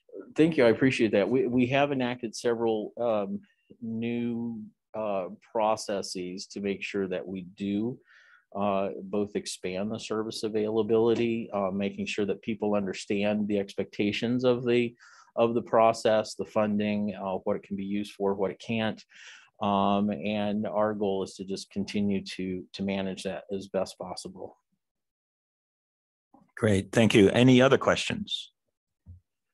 All right, very good. I'll entertain a motion for item five A. Motion to accept the RAC recommendation of immediate funding dispersing and consi- contingency plan for the remaining funds to meet the usage deadline of June thirtieth, twenty twenty-two. Donelson. Uh, Robert Zuluaga, Woodland Park, second. All right, we have a motion and a second. Uh, One last opportunity for any of the board members to provide additional comments or have any questions. I don't see any hands raised uh, online, just making sure, but I think we're good. All right, um, I'll I'll have some comments after the vote, but they'll be very brief, but uh, let's go ahead and proceed with the vote. All those in favor say aye. Aye. And are there, any- is there anyone opposed? All right, uh, no opposition, so that passes. Thank you. Just a couple of quick comments. I do want to express uh, my appreciation, and I think I can speak on behalf of the board, the board's appreciation for the Area Agency on Aging over the last couple of years, the tough work that you've been doing, taking care of our seniors through a really, really difficult environment with COVID. Um, there's a lot of isolation issues that are connected with that, and I know it's been tough on the seniors. And I, I know that you've actually called our clients from time to time, just kind of sanity checks, making sure that they're okay. And I appreciate that. And I have a comment after that, but if you'd like to comment on that point. Sir, uh, thank you. I, I appreciate hearing that. Um, we called uh, uh, clients uh, in the beginning uh, of 2020 uh, who had come to us for other reasons, but wanted to make sure that they knew what other services were available within the community, not just with us. Um, until um, uh, we continued that uh, into the fall of 2020 until they started asking us to stop calling. Um, and so um, I will say, though, that um, nearly every single one of our other uh, client, uh, contractors, uh, providers, uh, began the same program. And so it wasn't just the PPACG staff and volunteers making those calls. Every single provider uh, ramped up a reassurance program. It looked a little bit differently, um, but making sure that folks were reached out to in their in their communities. Uh, they engaged with uh, City of Fountain. In fact, uh, offered up about a hundred um, uh, city staff members to stay busy at home by calling folks in the in the uh, Fountain area just to get connected, make sure that they knew what services were available, or just to chat, just a friendly ear because they were not allowed to be out of their home at that early time. And so we're very proud about uh, the reassurance program and just how it's expanded. Uh, and, and for many of those providers, it continues. Thank, you. And, you know, I, I want to make one, one additional comment here because I think it's kind of interesting. Uh, you know, my, my mom is a senior living in another state and lives by herself and is not very mobile and kind of is in a delicate situation. If she were to fall, it would be a, a real challenge for her. And she is aging in place in her home that she loves. Um, but I've been very worried about that because she doesn't have any relatives that live nearby that can come by and see her every day, right? So I found out that that community actually has an automated call system uh, where um, any uh, any senior can submit an application, and if approved, and it's pretty easy to get approved, you um, you get a phone call uh, from an automated system. So the way that works is my mom gets a phone call at 10 o'clock every day uh, and if she's fine, she presses one. And if she's not fine, she presses two. And if there's no answer, they call back a second time 10 minutes later and go through the same process. And if there's no response to either, then some type of emergency service comes out. And if uh, she presses two at any of those times, an emergency service comes out. I just wanted to mention that uh, over the Christmas holidays, my mom mentioned to me, I set that up for her my mom mentioned to me how grateful she is to have that service because it means that um, uh, she's got, you know, if something were to happen to her, she knows she's got to survive to that 10 o'clock uh, on that day to be able to respond. And I would like to maybe suggest maybe there it'd be worthwhile to do some research here and see if a similar program might be uh, uh, of value. And I don't really know what the numbers are or the costs are, or if there's a liability implication that's not good for us or what have you. So I'm not taking a position one way or another for us, but it, maybe if I could ask the staff to kind of uh, contemplate that idea, or maybe if you already know of some people that are doing it and it's something you've been thinking about. Thank you. I appreciate that. Uh, it's always good to hear those projects that that do work, um, and so uh, I'd be very happy to dig into that. And if I could get with you after the the meeting, perhaps, and find out where that program is, then we can just go right to the service provider. Uh, there are several of our providers who do live calls uh, with their clients. Uh, we also have the Reassurance Plus program uh, through Silver Key Senior Services. But as you know, they uh, serve the El Paso County area. So uh, we'd love to dig into this and find out more. So thank you very much for bringing that to my attention. You're welcome. It's just uh, pro- providing an idea about a personal experience I had with my mom that may or may not be appropriate for our community, but it's probably worth doing the research. And I saw Mr. Zuluaga, you had your hand raised. Uh, thank you, Mr. Chair. Uh, I have a, not a similar story, but a, a testament from a fellow who went to visit his dad. He's uh, in independent living, uh, which is um, the next step is is assisted living in the same building. And so he went to see him, knocked on the door, no answer. Knocked on the door, no answer. Uh, finally got uh, access to his dad's apartment, And his dad had been on the floor in the bathroom for the last two days. So, and then his dad says he begged him not to tell them because if he did, he, they would move him into uh, assisted living. He didn't want that. So I love what your suggestion is. And and the reason I have asked to uh, speak is I, I want to carry the water for you more effectively in my region. So um, can you provide a list of the current providers? And I'd like to take it to council and say, um, there is a lot of funds available. What can we do? Where are the gaps we see? Because in our community, we have a increasing number of aging folks. So maybe offline or whatever, I'd like certainly I, I'm available right after the meeting. So um, yeah, there, there are a couple of routes that we could go with that. And that's, uh, that, that is a challenge because sometimes those safeguards are put into place, but the follow-up to those safeguards sometimes are consequences that the individual does not want for themselves. Yeah. And uh, so that is that is uh, also in and of itself a challenge because we're here to advocate for that individual, and advocacy and protection uh, carry very different uh, roles and responsibilities. And so I appreciate hearing that because that is a reality for for certain. Well, Keith, uh, just if I can uh, follow on that, I worked with a fiduciary for a number of years, and we would deal with aging and uh, respecting their freedom is a real big deal. And once you start taking away, you start taking away the driver's license, you start taking away their personal care and stuff. That's delicate area because part of that's their well-being mentally, and you start taking that away, and it doesn't help them. Very true. Uh, thank you, uh, Mr. Gardine. Uh, Mayor Pro Tem Roland Gardine Calhan. Uh, our community is has a lot of senior citizens in it, and they have a lot of pride. Okay, but if you have a personal contact, call them like uh, you were talking about here. They feel like the people reaching out to them, but we only have one uh, point of contact, and that's the pantry. Okay, so we need to be able to let uh, they trust the pantry. Okay, but uh, I think that uh, this would be a very good program for like for town of Cameron for sure. Okay, so and uh, the, these people, uh, we all men uh, come together as a community, helping each other. Okay, a lot of these people, men, don't want you to know their business. Okay, and so then they want, uh, but if you men, if they feel like they have a, uh, an idea on, on what's going on, they may accept it more.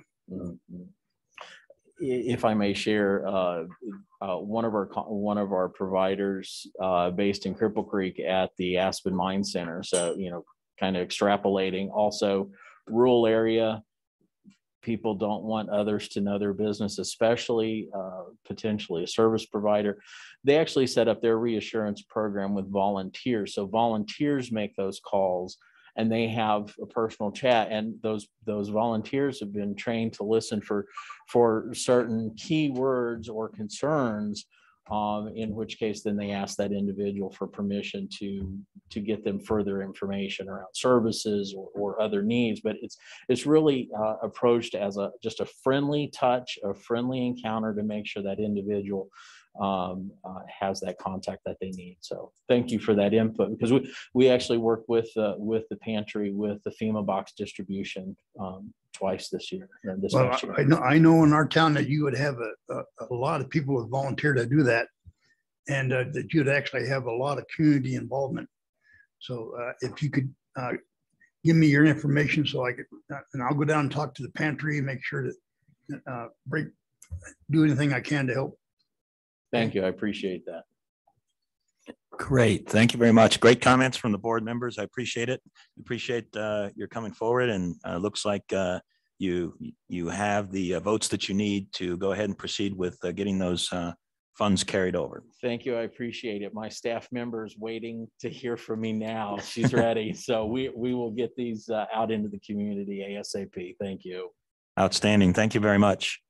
Uh, So let's go ahead and move on to item five B. This is our tip adoption. Uh, Dan Danelle Miller. Good morning. Um, As you all know, PPACG has been in the development of a new transportation improvement program for um, fiscal years 2023 through 2027. Uh, We have brought this to the board a few times previously. We um, went through our public participation process and had our public hearing um, here at the board last month. Um, the PPACG, uh, TAC and CAC have recommended adoption of the 23-27 tip, and that's why we're here today. And if you have any questions, Very good. Are there any questions from the board with regard uh, to this uh, tip adoption, the 2023, 2027 tip adoption? All right, hearing none, I'll entertain a motion. I would move approval of the twenty-three to twenty twenty-three to twenty twenty-seven tip program. Second. That's been moved and seconded. One last opportunity for any questions or comments from any of the board members. I'm looking online and I don't see any hands raised, just making sure. All right, hearing none, let's go ahead and proceed with the vote. All those in favor say aye. Aye. Or is there anybody opposed? All right, congratulations. Uh, That is now adopted. Thank you very much. Let's move on to item number six, our information items. And the first one is item six A, the CDOT ten-year plan. And I think, John, you're up. uh, Mr. Chair, uh, members of the board. Uh, This item is your sort of first bite at the apple or letting you know the apple is coming. That's probably the best way of putting it, right? Next month, we will bring it back, hopefully as an information item. And then the following month, in March, we'll bring it as an action item. So, but again, depending on um, the TAC work on it, um, it might be, we'll bring it back in March as an information item and then an action item in April. Um, we've had great support from CDOT, and I just had a, a call with uh, Wendy trying to nail down the schedule. Um, and she definitely wants to make sure that we're we're comfortable moving forward. So we appreciate all her hard work in getting us information and, and being a conduit uh, uh, for us here in the region uh, between us and the CDOT headquarters. So some of you are new on the board. Let me take the 50,000 foot level, kind of let you know what the 10, the 10 year plan is intended to do. Um, within the, the MPO area, and again, this goes back to our earlier conversation where there's 15 transportation planning regions within um, the state of Colorado. TPR number one, which is the Pikes Peak TPR, encompasses the MPO region or Metropolitan Planning Organization. That means it's got a population of over 50,000 um, and has certain federal rules that are attached to that. We're actually over 200,000, so we're transportation management area. And we even have a little, some more rules on top of that. Anything outside of that TPR number one, which is sort of the donut of our cog. Um, ooh, donuts. No, um, is uh, Central Front Range TPR, um, which again is uh, uh, Commissioner Elsner and, and uh, uh, that area. So of the 16 P, uh, PPACG jurisdictions, nine of you are in the MPO and seven of you are in the Central Front Range. When we do our long range plan for the MPO, we identify um, projects that are going to be done in the next 20 to 25 years. Um, and again, that's those are the things that we're, we're planning on doing. Included in that are the CDOT projects within the Central Front Range, and they don't aren't required to have a long range plan per se like an MPO, but they're covered under, or the, the seven of you that are covered under that, you're under the uh, uh, uh, the state process uh, that, that, that happens. And then um, when a project is actually approved and ready to be done, there's what we call the TIP, which is what you just adopted, where we say this is the, the projects we're moving forward with. Well, we have a TIP within that, again, that MPO area. There's also a, a state transportation improvement program or STIP that falls within the folks that are in the Central Front Range. So there's that little sort of step in between that we call this the CDOT 10-year plan, where CDOT and their planning partners for the MPO, it's, it's us here at PPACG. For those of you in Central Front Range, uh, you work directly with the, uh, the CDOT planning staff. We identify the projects um, that are sort of ready to go. Our last 10-year plan we had enough funds to do about the first four years. That was the funded part of the plan. And the rest were sort of put down there in priority order in case, and this is the term of art, I believe they'll use at CDOT, money falls from the sky. That that way they can go down that project list and, and provide projects. So the exercise in front of us now is to take the projects that are completed, move them off the list, sort, and then sort of reshuffle the list based on our current priorities.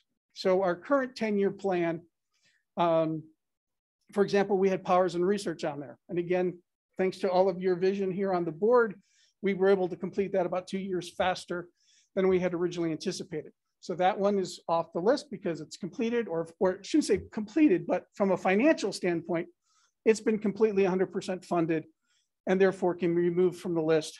Um, and then we can start looking at other priorities. So the exercise that's happening at the TAC right now is CDOT is bringing us the, the projects that they're willing and able to do. And then our TAC committee, the Transportation Advisory Committee is saying, these are our priorities and how we look at it. The federal transportation planning process is a cooperative process.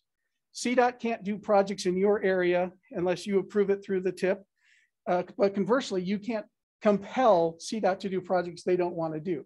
So it's this cooperative uh, process, this Venn diagram of what they're willing to do versus what we want to do, where we sort of meet in the middle and we develop priorities.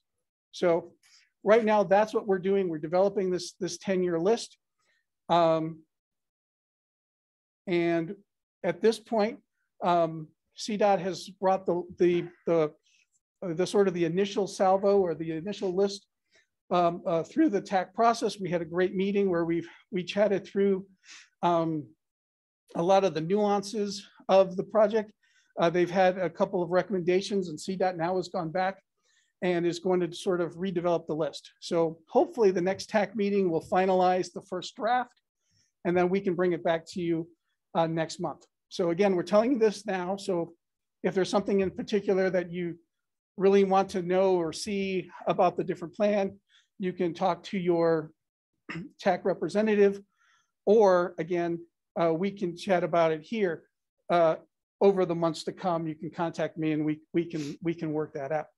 Um, on the phone today or on the uh, uh participating in the meeting via Zoom, that's my 50,000 foot level, but we've got Wendy Pettit that can sort of talk about things if you want to get down to the, the parcel level.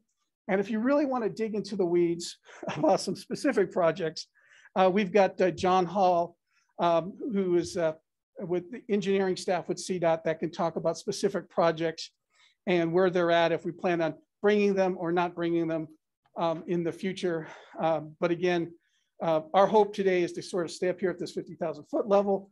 Uh, but you are the board and this is America. And if you want to get in the weeds, we will get in the weeds. Uh, so with that, open it up for any questions. And if it's uh, permissible from the chair, if CDOT has to, would like to say anything that I've missed, I'm happy to have them uh, chime in. Certainly. Are there, um, I do have one question, but I'll reserve that in case any other board members uh, have an interest in a, uh, asking a question or making a comment. Go ahead, uh, Commissioner Williams. Well, I guess mine are kind of questions versus points. Um, so I uh, counted on this list, 11 projects are bridges over Powers Boulevard.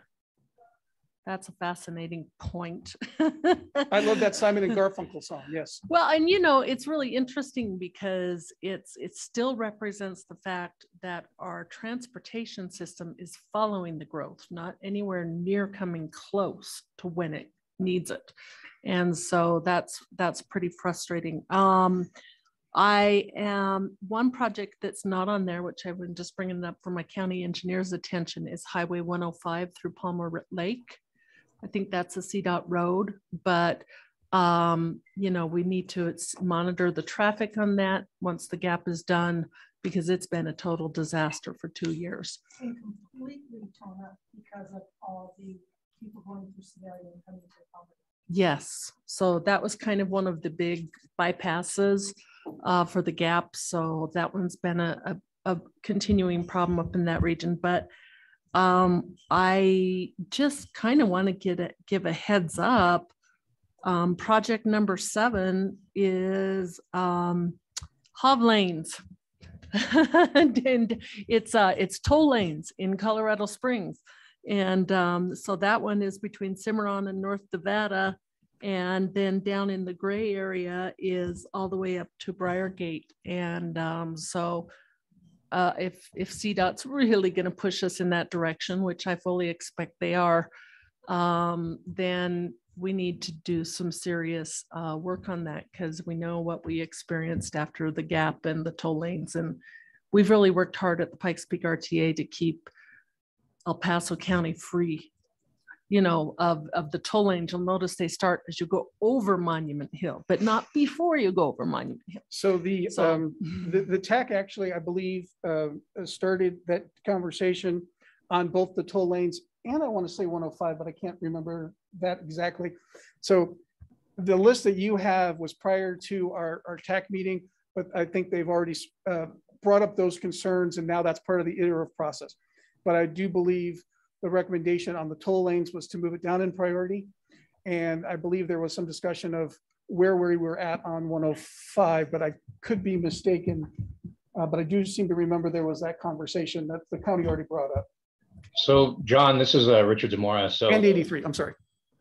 um, yeah, just one thing I, I did want to bring that up because you know the HOV lanes right now, you know, another section we're looking at and we're we're talking about prioritizing higher within the region is actually from South Academy um, down south, uh, or actually between South Academy and up the Circle, um, which is the current remaining two lane stretch, kind of in between, uh, a little bit north of where MAMSIP is going on right now. So you know, we definitely want to have those conversations with you. Um, and, you know, from our perspective, given the narrowness and, and some of those kinds of things in that area, it might be a higher priority from our perspective. I think one other thing I just wanted to bring up again is I still don't have uh, planning totals yet to be able to work with.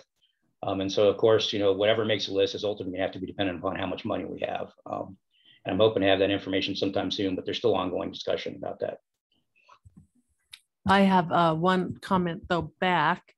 Um, I'm more talking about the public perception and the public resistance to the toll lanes or the HOV lanes.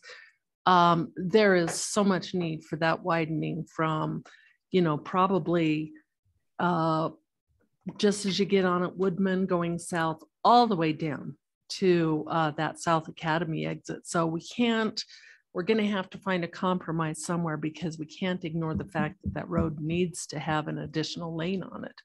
And so um, if we have to strategize about how best to handle that um, highway, the high occupancy vehicle lane, then we need to do that um, and somehow come up to a, a political media type strategy on that because we can't not prioritize getting that freeway widened. Yeah, again, you know, I think be the challenge is going to be is trying to get everything accomplished within the amount of money that we have. Um, you know, and, and that's going to have to be where we, we really, you know, put pencil to paper in terms of what is the highest priority for the region. So, Great.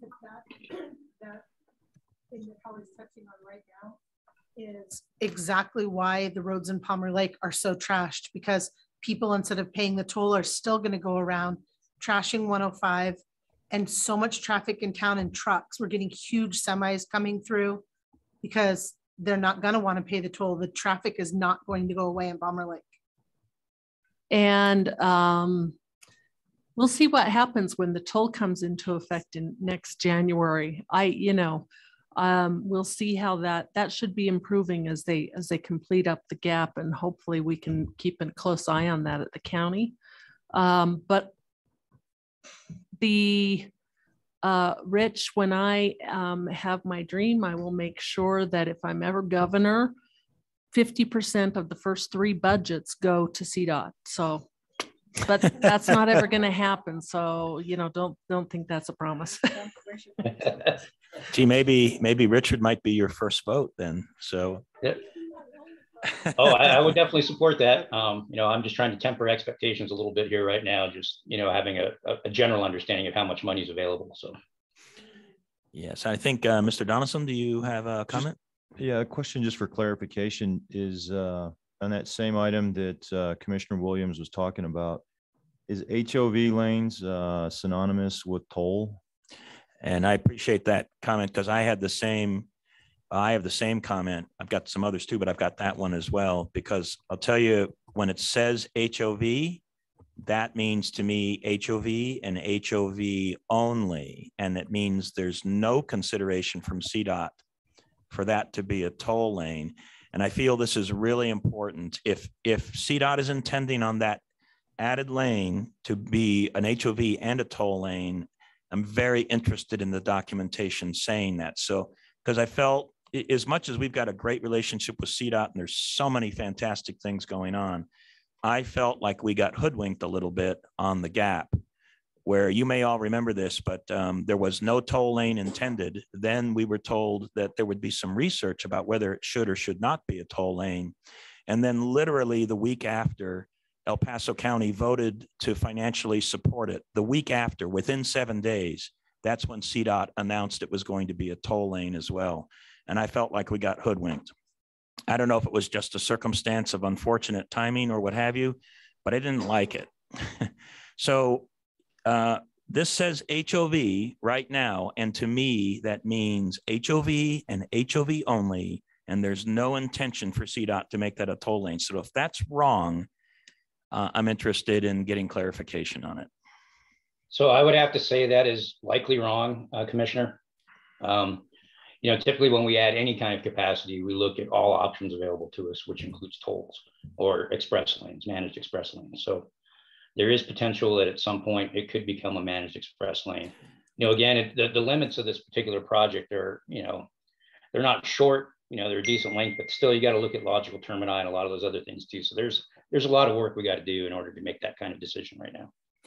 Yeah, so I appreciate that. You know, I, I think kind of the way you, the, why, uh, Mr. Samora, you're, you're hedging your comments a little bit is it's perhaps has to be made at the uh, state administration level or something, but is my understanding that the Transportation Commission intends on everywhere across the state making any lane addition on a highway a toll lane. So um, y'all can correct me if I'm wrong, but that's what I, I I've heard that. And I guess I don't have confirmation one way or another, but that is what I believe is their intention.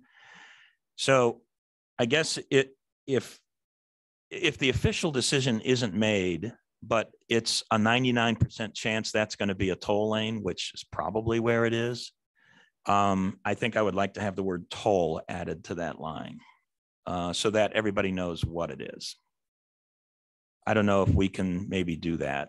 Um, So we're just gonna have a little section of town where we collect tolls? that's apparently what it's going to be. Um, now, keep in mind, I it's mean, are we gonna do it little section by little section by little section till eventually from the border to the Pueblo border? yeah. we have toll? I'm just gonna say it publicly. Why not, right?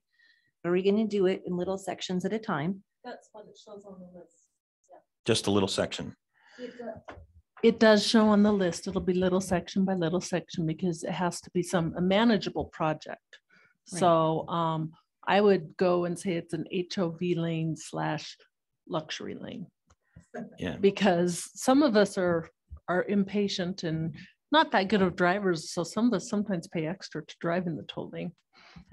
So. Yeah, and and I'll I'll make the point. Uh, uh, I think I can make um, an effective advocacy argument for it not to be a toll lane. That the toll lane actually adds to congestion. I mean, yes, you're adding a third lane, and that's you know, or fourth lane, or whatever it is in that section, and that's all good. But um, I, I'm not entirely sure that I agree with uh, the state's position that guaranteed reliability is a higher priority uh, than uh, addressing uh, uh, uh, um, user wait times and user safety.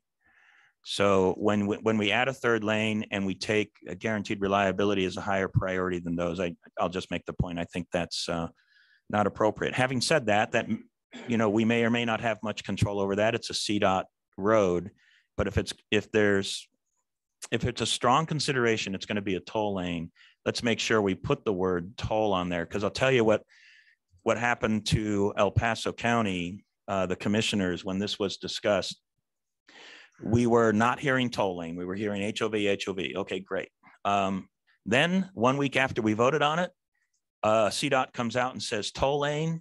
And within 30 days of that, I got 250 emails from citizens and constituents saying they felt that they got hoodwinked and they were blaming the El Paso County commissioners for it.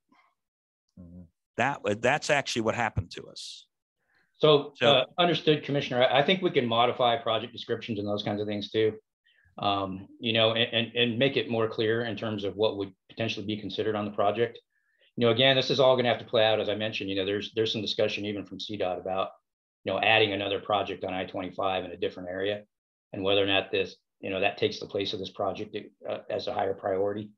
Um, and those kinds of things too. So I think there's still a lot of conversation that needs to happen within the TAC as well. Um, but we can definitely modify the project description to address your concern. Yeah, and, and uh, trust me, I am very, very interested in that additional lane. I think we, we really need it. I just want it to be described as to what it's likely to be. So that, that's the point there. I do have one other, uh, maybe Mr. Donelson, I don't know if you had further comments or not. Okay. I do have one other uh, point. Um, With regard to the PPACG priorities, this is item number four. But actually, I'll just go through the number one, number two, and number three. I've got a pretty good understanding on exactly what those are. On number four, I don't know much about what this um, accel decel lane and median widening project is. It sounds great, but I just don't know much about it. So I'd be interested in uh, getting backfilled on that. It looks like maybe Commissioner Williams, you might have some additional information, but maybe if there's similar sentiment on the board that we don't know too much about this one, maybe we can get a specific presentation on that particular project. Well, that Commissioner one's Williams. pretty easy to explain. That one's between Fillmore and Garden of the Gods. Am I right? I turned off the agenda item. Yeah, it is. But- Go more to Garden of the Gods and it's, it's an accelerate. I mean, it's exactly what's described in the description. It's an acceleration lane and a deceleration lane. So basically, Yeah. we're taking the weave um, out of the main through lanes, and providing an area to, to weave in accel and decel to get off at the- both those interchanges. Okay. Yeah, so if you're driving there um, north, you will notice that right after Fillmore, you lose that um, extra lane to get on the freeway. And that is because the bridge um, over a small road there off of Sinton Road that connects Sinton to Chestnut never got widened. It is, and that's probably because of the expense of having to work with the railroad there but it's um so it literally is not wide enough to handle the extra acceleration and deceleration lane. So what it is every night is it's a funnel point and in the morning too. As people are coming to work on Garden of the Gods, especially to our county facility there, um, they're funneling, having to funnel down and then get up and then funnel back because there's not that extra lane to go in and out and get off the lane. So they'll replace the bridge. There's been a bid out on that. And I think a contract issued on that. And then that will add into um, that extra. So that funnel point will go away. Since that's my drive home, I'll be very happy about that. Great. Um, I So- appreciate that description. That might be actually sufficient for me, but I see Mr. Donelson, you have your hand raised. Well, I was going to suggest real quick too, if, if anybody has specific questions about this project, John Hall, who's the resident engineer for it, is on the call as well. So. Okay, thank you. Go Uh, I ahead. was just going to add, Mr. Chair, that uh, I did get a briefing from CDOT on this project as a city councilman who represents that part of town. And it is, as uh, Commissioner Williams described it, simply widening the road on both sides, north and south, to uh, give a strip to pull off and also so that people aren't forced to, you know, fight to get out into the traffic. Okay, great. And it is, if I understand right, it is on the list of funded projects and will start summer of this year. Is that correct? Great. So that's, that's awesome. I think I saw another hand, Mr. Zuluaga.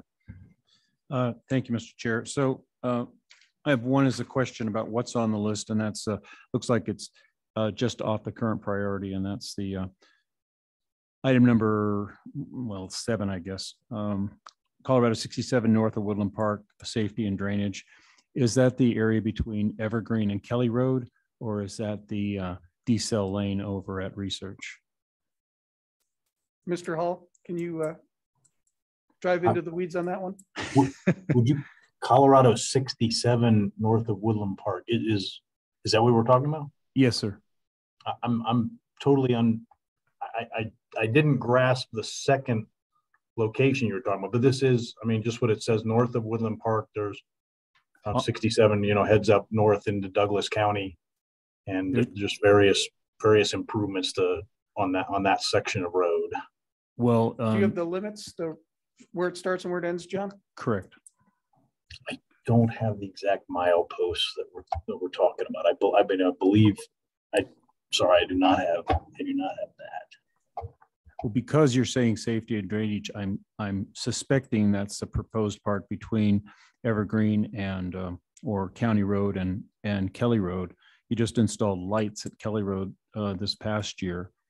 And, uh, there, it just drops off on either side. So it's single lane either side and ice and snow, folks end up in the ditch. So I didn't know if that's the project you're referring to or the one where we have a decel lane a little further up, um, at Research Road where there's some uh, proposed uh, safety improvements there that you're doing in conjunction with the city. Well, I, I, I believe the concept here is, is all, is any, we're looking at that whole area in, in terms of, I mean, there's, there's not, I don't believe a specific scope element at this point. I think that's, I think it's all of that is being looked at as, and what would be the best, you know, designing what would be the best, uh, you know, point locations within there. Maybe I can talk with you later about it because I think it's already uh, well defined what that is. And I just uh, was trying to get a clarity of uh, if that's actually going to move into the uh, priority list uh, because it's been on, it's been on a planning for a while. I'll- So I'll if we can talk about that afterward, that's fine. Yeah, I, I, I just have to get with the, probably with the, the other, yeah, I'm sorry, I don't, I don't know that one in, in detail right now. Okay, thank you. My second point is, um, we have a study for a reliever route for the, uh, for the uh, Woodland Park, Teller County, going out to the west, uh, western slopes. So, uh, in all of the recreation areas. So my question is, what is it? So we've got a, a study coming this, uh, in twenty twenty-three. Uh, if that all goes well, what does it take to then get onto this, uh, ten-year planning, schedule for that to be a, a go-ahead project? So I mean, that would, that would funnel through actually PPACG um, in terms of how it falls on the priority list. So, um, you know, as of right now, I don't know if we have a good scope um, and budget for what that would look like necessarily because we're still doing the preliminary work. Um, but that is something that, you know, could potentially be considered. Um, and again, this isn't the last shot at the apple either. We're planning on updating this periodically, you know, as we get projects off, trying to maintain a 10 year list of projects. It helps us plan our design efforts and, and that kind of work going forward. So. Yeah, if, if I might just put a, a finer point on that, uh, uh, council member. So at this point, you need to do your study. Once you've done your study and you actually have an alignment, that will let you do sort of that, the preliminary engineering and, and, and sort of the, the scoping of the project. So once you know where it sits, then you know, is it a $10 million project? Is it a $15 million project? Is it a $20 million project? And uh, what sort of um, drainage issues does it have? What sort of right-of-way issues does it? After that first project is done, then your next challenge is then finding the money to do the, the, the design. So the design phase of that project is something that could be put on this list when it is quote unquote ready to go. Remember what I said, this is the, if money falls from the sky, these are projects that are ready to go. So right now, your um, study is, like I said, getting, is getting worked through the, the process. But once that's done, then your design phase will be quote unquote ready to go and is a candidate to be put on a future list. Too soon to put it on now. Right. And then after that's done, and you actually then have your environmental clearances and all that stuff, and you're ready to go for construction, all you then need is uh, the funding to do it, then that construction would be a candidate to fall on this list. So, but those are things that are down the line. It would be premature to put anything on this list at this date until those two particular things happen. Does that help with? uh, Oh, very helpful. Thank you. Uh, Mr. Chair? Yes. If there are, if there are no more questions, I just want to put uh, two more little things on the table. Um, We are also looking at a transit list. So remember, um, as we go through this process, if there's any particular transit um, projects you want to see um, uh, changed to the list or added to the list, uh, please let us know. Um, Big thanks to Brian Vitulli of uh, Mountain Metro Transit and uh, Jeff from uh, CDOT for helping us with the, uh, the different transit elements of the list. And then finally, I will say that this um, particular process, as we move forward, remember, this is just a list of what our priorities are. It is not saying that you, when we adopt this, you as a board are saying, this is our list and we're done with it. Because as we go through the process, because of the greenhouse gas rule, there is conceivable that we will have an, uh, an item that we will actually have to sit and all come together and say, because of the greenhouse gas rule, we only have so much capacity for capacity projects. We can only do one project that widens a road. And then you all will have to decide, will that be a PPRTA project? Will that be a uh, project in the city of Colorado Springs? Or will that be a CDOT project? So just by having something on the list is not carte blanche that the, I probably used that incorrectly, but it, it's not a fait accompli. Ooh, that's better. That that project is definitely going to happen. All it says is, right now, given the circumstances, these are our priorities. But there are lots of things that could change our priorities through our planning process. So I just wanted to make sure that everybody understood there could be some more very difficult decisions because of the greenhouse gas rule that will come back to you in, in the future. So hopefully that's helpful. Uh, Thank you for that. I'll just make the point. I hope that we don't find ourselves in having to make those kinds of difficult decisions. Let's, let's see what we can do to, to prevent that. Um, But any case, thank you for the update. Are there any further questions with regard to this information item? We, we put some time into this, but there were a lot of excellent questions, so I appreciate that. I also noted, I think there was a, um, a comment from Wendy from uh, CDOT um, uh, Region Two with regard to the Woodland Park study that you were just talking about. And she made the point that funding starts for that in 2024, and that was a text item uh, from the chat. There it is right there. So, Mr. Zuluaga, you're probably interested in that point. Yeah, July 20, July 2024. Okay, very good. Let's move on to 6B, our uh, air quality and ozone update. Okay, thank you, Chair, and I'll take this, and I'll try to be brief. Um, And really just looking for direction and your preliminary okay today to bring a letter back in February for the board to approve for us to send to the state around our ozone emissions levels that we've seen the past couple of years within our, within our region.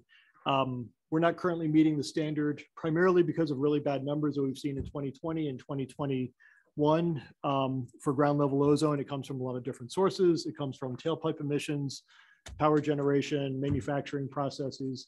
But then wildfire impacts um, exacerbate those numbers too. So we've seen that that's had a real impact on us the past couple of years. In conversations I've had with um, air quality division staff at CDPHE, they think we can make a, a decent case. They can help make a good case for us to, for the wildfires that we saw in our state in August of 2020, when we had the three biggest wildfires in state history by land area, um, to petition EPA to have those classified as what's called exceptional events, that nobody had any control over managing those, and those negatively impacted our air quality numbers to a level that it really pushed us up uh, well above the federal standard. And we've been living with that number for a couple of years now because it's based on a rolling three-year average when we identify what our emissions levels are. Um, th- They suggested it would help a lot if we, if our board sends a letter to the state, which would actually go to the head of the Air Quality Control Division and probably the governor. And my suggestion is that we do this sooner rather than later, but to ask the state to petition EPA to have those uh, wildfire events in August of 2020 classified as exceptional events. Um, it- it's a, a big ask in some ways, but the CDPHE staff thinks there's enough justification to make it happen. They're not going to make the request if they don't think it makes a difference as far as our numbers, and they said they believe it will. If those numbers are no longer part of our overall three-year average, then we drop down below where we're still technically close, but we're meeting the standard. Um, My suggestion is that we probably also need to identify in a letter that we would send to, to the state. um, What are some other kind of proactive measures that we're doing as a region to try to get a control around ozone emissions? Uh, A lot of good work by the city, by CSU utilities, um, with power generation that, that could help that we could point to. And I've had some good conversations with the ROM already about that. Um, we're looking at some other things like a voluntary trip reduction program that's tied in more with the greenhouse gas emissions rulemaking mitigation uh, requirements that may be coming, but there's co-benefits there with ozone emissions too. So I think there's a few things like that that we can really point to as proactive measures, trying to go after wildfire grants, uh, to do wildfire mitigation, I think certainly would, um, would help as well. So I think those are some of the items that we would identify in a letter that we submit. Um, so just wanted to give you a heads up, but also looking for some preliminary feedback to see if we're on the right track. My suggestion is probably the next step is um, we'll work to draft something up. And what I'd like to do is pull in the air quality technical committee that we have as well and get their feedback at their meeting in um, end of January and then bring this back to the board in, in February. Um, the 2022 being an election year, I think the sooner we do this, the better. If we're going to make, if you have to make a petition, a request to the governor especially, so um, that would be my recommendation. Yeah, um, thank you. Uh, um, there may be comments from the other board members, but I'll, I'll make the point. I, I appreciate that uh, CDPHE has a willingness to work with us on that and maybe make an appeal for these exceptional events. I do consider them to be appropriate exceptional events as well. And uh, my recommendation is that we proceed forward as a board um, to to continue that pathway and, and get to that request to EPA for to get the exceptional events identified. Mr. Stone. Yeah, I would agree with your comments and just a simple question. Do you need action from the board or a simple head nod to move ahead? Today, simple head nod nod is, is fine. I'm Um, nodding my head. Thank you. Super. Thank you. Mr. Zuluaga. And I see a head nod also from Mr. Donelson, and you'll get a head nod from me. I see a head nod from Mr. Elsner. There's probably more head nods coming. Uh, I see one from our representative from Miss, from the town of Calhan, and now Mr. Zuluaga, go ahead. And you have a head nod for me as well. You have a verbal, but I would just want to suggest that um, another area of exception that we might like to pose and include is uh, foreign pollution from fire, from fire smoke, uh, whether it comes from California, Oregon, China, wherever else. I mean, is there a way to uh, isolate and identify particulates that are coming from outside our region that we are being asked to uh, look at as our own uh, it's like it, we have no capacity at all to mitigate those. So is there a way of, in the letter also, uh, having that reviewed and considered? Uh, I doubt that's going to make a difference. In all honesty, there's been one other request of the governor to make a petition to EPA to get an exceptional classification, and it was around that very issue. And I think it was in 2018, 2019, and he didn't support it. The suggestion from CDPHE staff is to be really narrowly focused on those numbers that we think that we know will really make a difference. And it was about a 10 day period in August of 2020 that we can point to to say these really drove our numbers up. So I think if we narrow our focus, I think our chances of success are probably a little bit better, um, especially understanding that that's um, that that's been attempted before, trying to identify the the foreign uh, sources of pollution, which hasn't been supported. And, and I would say uh, for this particular effort, particularly if we have CDPHE interest in proceeding, we should uh, work towards getting that done. However, uh, Mr. Zuluaga, I completely agree with your point.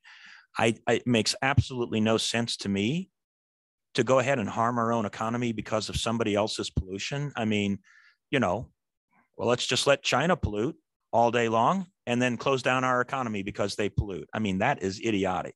Yeah, I'll, can I be more blunt than that? Uh, yeah, thank you.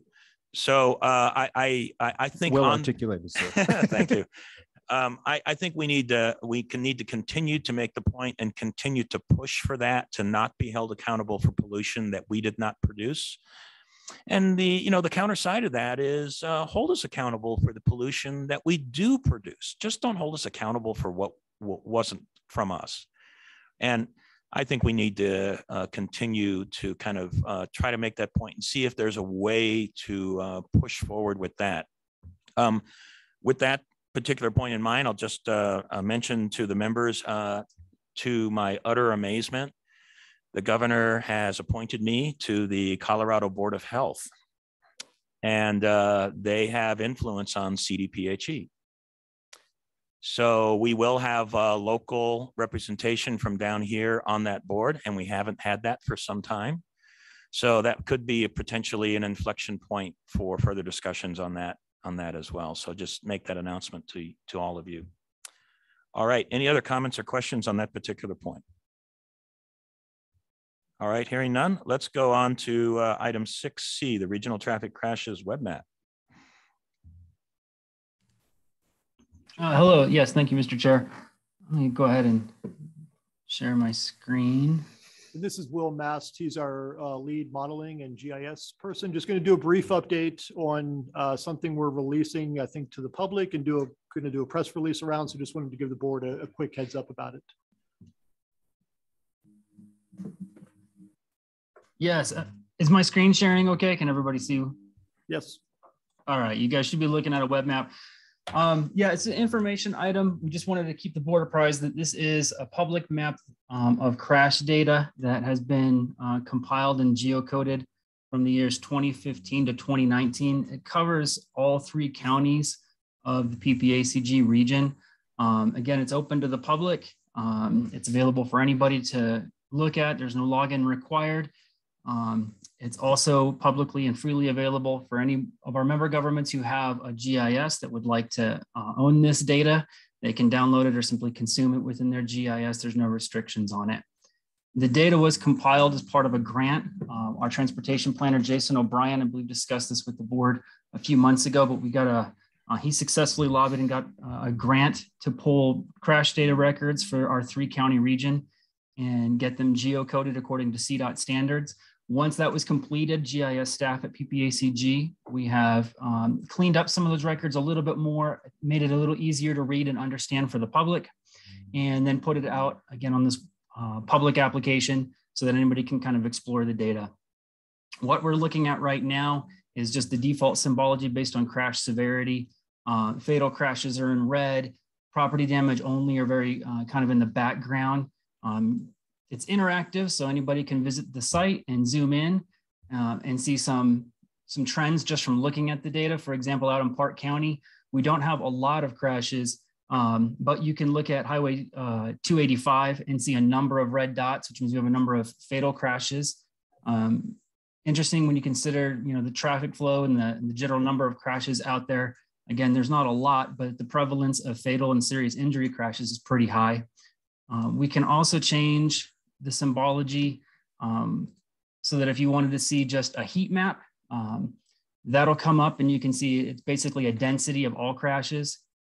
So looking in the Colorado Springs area, uh, Academy Boulevard really stands out. Um, you can see a lot of hot spots up and down Academy. And then um, the major interchanges that we have along I-25, so South Academy, um, looking at the Nevada Tejon I-25 area definitely has a, a big heat bloom uh, Cimarron and I-25, again, a big heat bloom. And as you zoom in, those densities change so you can further refine and pinpoint what you're looking at for crashes. We also have it clustered, again, to kind of make it a little easier to determine, you know, the raw number of crashes within a given cluster. So if we look in, um, say at the Cimarron I-25 uh, interchange, we can see that we have um, a cluster of about 210 uh, going on northbound and another cluster of 189 crashes going southbound. Um, going up Cimarron, when we look at the 8th Street and Highway 24 Cimarron inter uh, intersection, 214 crashes there. Specific crashes can be pulled. Um, so if you wanted information about any of these, you can simply click on them uh, and it'll come up with all the summary that was included in the CDOT data so we can see this was a fatal crash that occurred uh, on Cimarron. Uh, it was a pedestrian. Uh, it was not at the intersection. It was just on Cimarron. And it gives you all the information that was part of the police report that was compiled um, with that data. We also have a couple of charts if people wanted to explore some trends. Um, on the map, we uh, can come over and click the chart button instead of the layer button, and we can look at crash severity by month and that'll pull up a chart um, and look at all of our data and then just map it out as a chart on the fly. So as we add more crashes, as we continue to work um, on this data, when CDOT releases, for example, the 2020 year crash data, um, this stuff will just be automatically updated once that data uh, gets added to the map, the charts and everything else will update automatically. Uh, an interesting trend uh, when we look at it by month is that uh, every March, um, the number of uh, um, property damage only crashes uh, drops. You can see these, there's a recurring trend every March, but we don't see that in the serious injury or fatal crashes uh, on a month by month basis. And what we think we're looking at here is actually the impacts of cold reporting uh, in the region. since March tends to be the snowiest month and it tends to be when we have the most cold reporting. So if there's no serious injuries, they don't get reported and we kind of see that in the data. Um, so I just found that to be kind of interesting. But we can also chart it uh, total crashes by severity. Again, going back to 2015, we can see that thankfully the number of fatal crashes, uh, 337 in our three county region is fairly low. Property damage only crashes being very, very high, about 45,000 of the 65,000 total crashes being property damage only. Um, so again, this information um, is uh, public. It's available for anybody to explore. Uh, does the board have any questions for me? Uh, yeah, so we may have some, but I'll just uh, make the point in the chat uh, from Gordon Rick, uh, so you're aware of it. Uh, Gordon recommends, could you post the URL for this website? Um, he was looking for it on uh, Google and did not get a match. So I guess we just have a request to post the URL so people can see it. And I think I saw one hand raised at least, Mr. Harrelson. Yeah, I, you know, this to me is one of those really, really neat tools to have, especially when you look at Park County. Um, that that little area is between Como and Fairplay, um, and it had several fatal crashes, which is one of the things we're always arguing about or having that issue with CDOT saying, you know, you got to get out and start fixing some of these because uh, where we don't have a lot of crashes when people go 65, 75, 85, 100 miles an hour, um, they have a tendency to be a lot more serious crash. But uh, looking at this, because um, uh, I took the link off of our, our packet, it is absolutely amazing the data that is available. And I, I really appreciate the work that went into this because I think it's going to be very, very helpful in several conversations that I have. Thank you. I appreciate uh, your mentioning that the link is in the PPACG packet. So if you can pull that up electronically, you should be able to click on it and then pull the map up. Are there other questions? I've got just one quick comment, but I'll reserve that. All right. Um, I guess it would be uh, really awesome, and maybe this has already been done, but to make sure uh, this thing is uh, passed to the member um, Department of Transportation offices and just make sure that they know about it or or have it. You've got those contacts already, so maybe it could just be kind of sent in mass via email to everybody that that we have a uh, point of contact with, uh, so that uh, we give all of our members an opportunity to have access to it. They, and they may already be using it. I just don't know, but let's just make sure that they they know it's there. Okay, great. And for whatever it's worth, that's cool. So yeah, that is really cool. Mr. Thank you. Appreciate that, Mr. Chair. We will Mr. definitely uh, make certain that all of our member governments and their planning uh, personnel are aware of this. Um, I'd like to also add, if you are having trouble finding this through a Google search, um, it is located on our main webpage where we have all of our regional GIS and planning data. That's simply ppacg.maps.arcgis.com. Again, ppacg.maps.arcgis.com.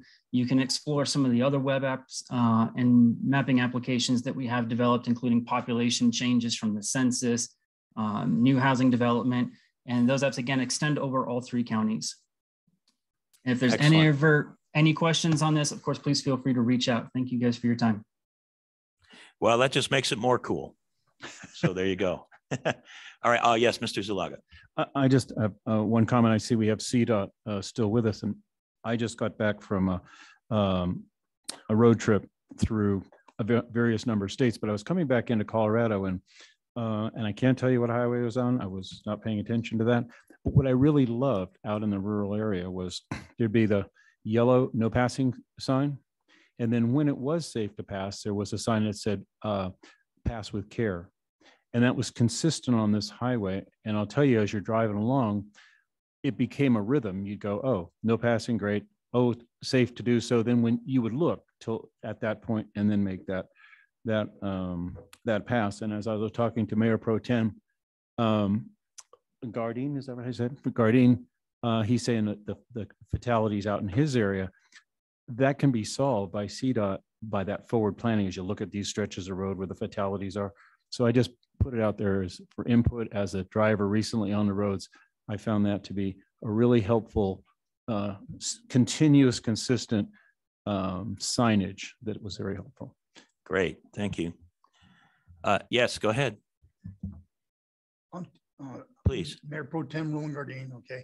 Uh, This will really reinforcement, uh, the, what we have on the highway right now and the no passing and the passing part because there are rolling hills out there, okay? And we have two visual aids, okay, maybe people might pay attention more. But, but El- Paso County uh, Sheriff Department placed at, at uh, Ellicott intersection there, a speed uh, indicator telling you how fast you're, you're going to slow down or you know, you're doing a good job and that kind of stuff. And I visually saw a lot of people slow down. So I, I think there's a lot of good things that happen out there like that. But his, his idea about the, the more sign got there, really good idea.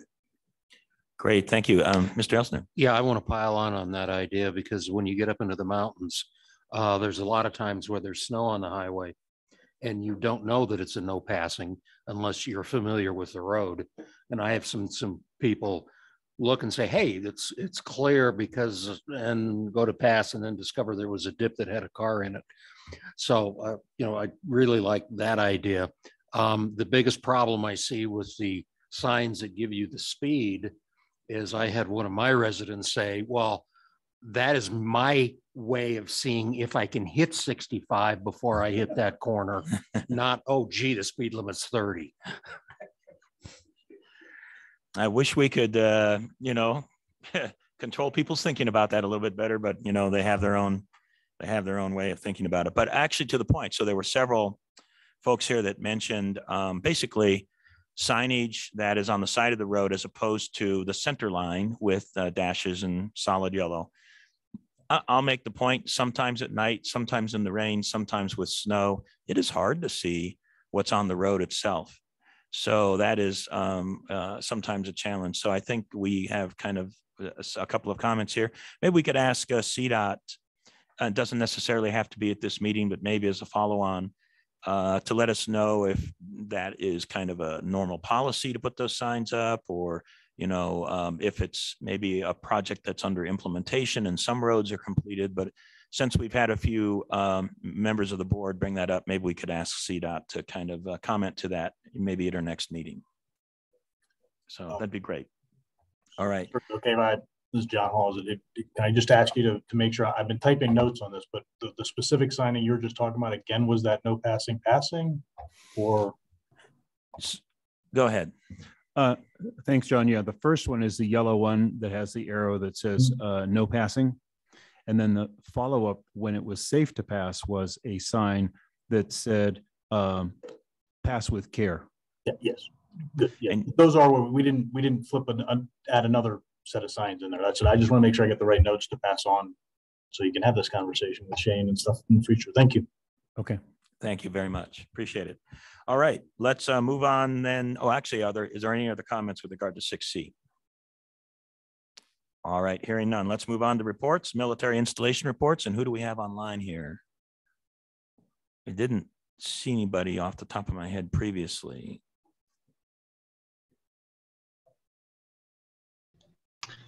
Good morning. This is uh, Chuck Arnold from Peterson Schriever Garrison. I've got a quick update if that's okay. Yes, please proceed. Yeah, just just a couple uh, really quick updates. Some I've, I've covered in the past in this forum. Uh, previously briefed that we would uh, close the golf course here uh, out at uh, Peterson Space Force Base on 1 January. That has happened. Uh, the golf course is closed. Uh, we've been able to place all employees but one, and we're uh, we're still working that. Uh, which which means there's a great opportunity, obviously, to partner with the community. I won't go into too much depth in in this forum, but uh, a great opportunity to partner with the community leadership on the way forward.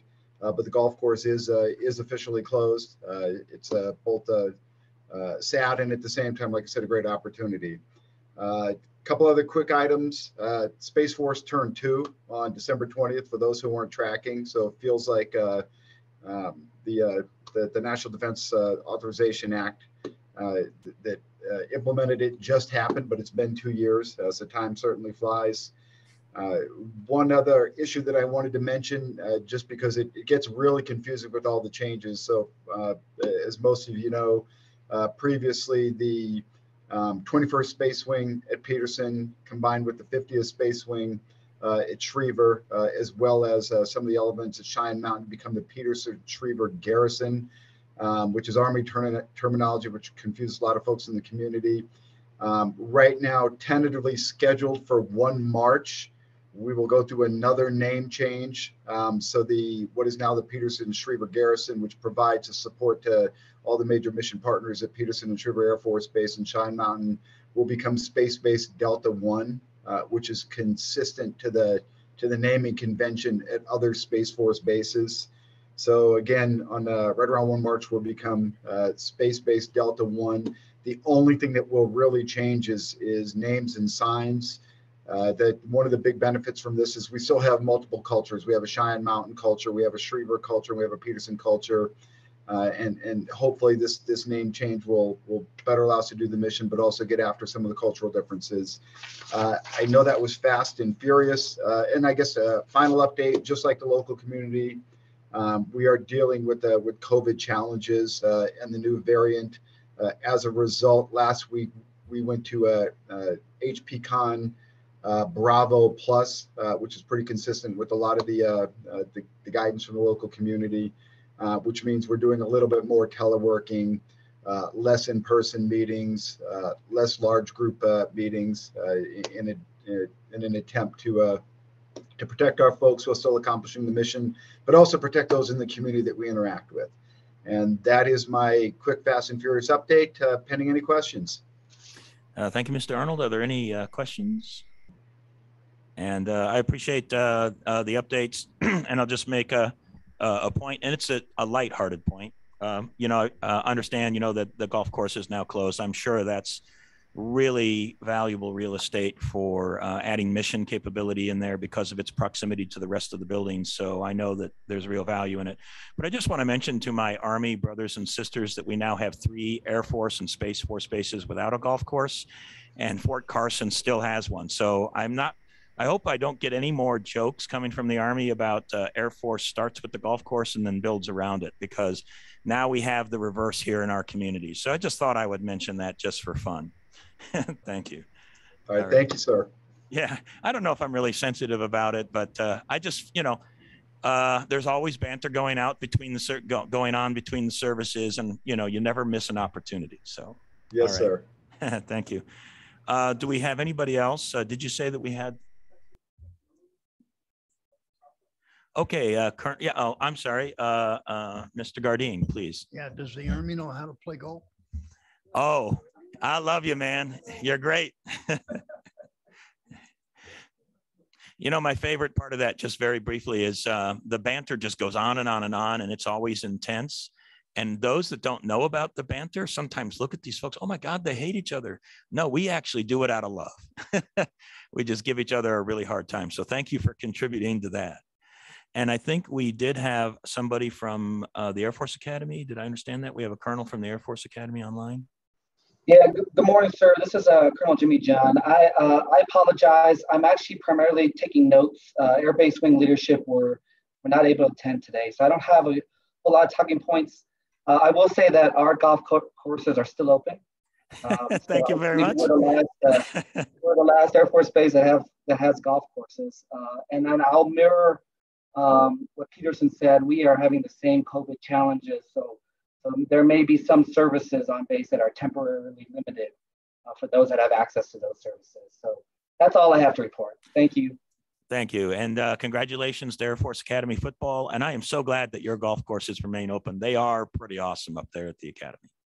So, any questions for the Colonel at the Air Force Academy at this point? All right, let's uh, continue through the, the military reports. Uh, obviously, 7B through 7F uh, are, uh, we have uh, uh, no presentation for any of these at this time. And we move now to 7G, the CDOT monthly update. Um, thank you, Mr. Chair. Richard Zamora with CDOT, the Region 2 Transportation Director.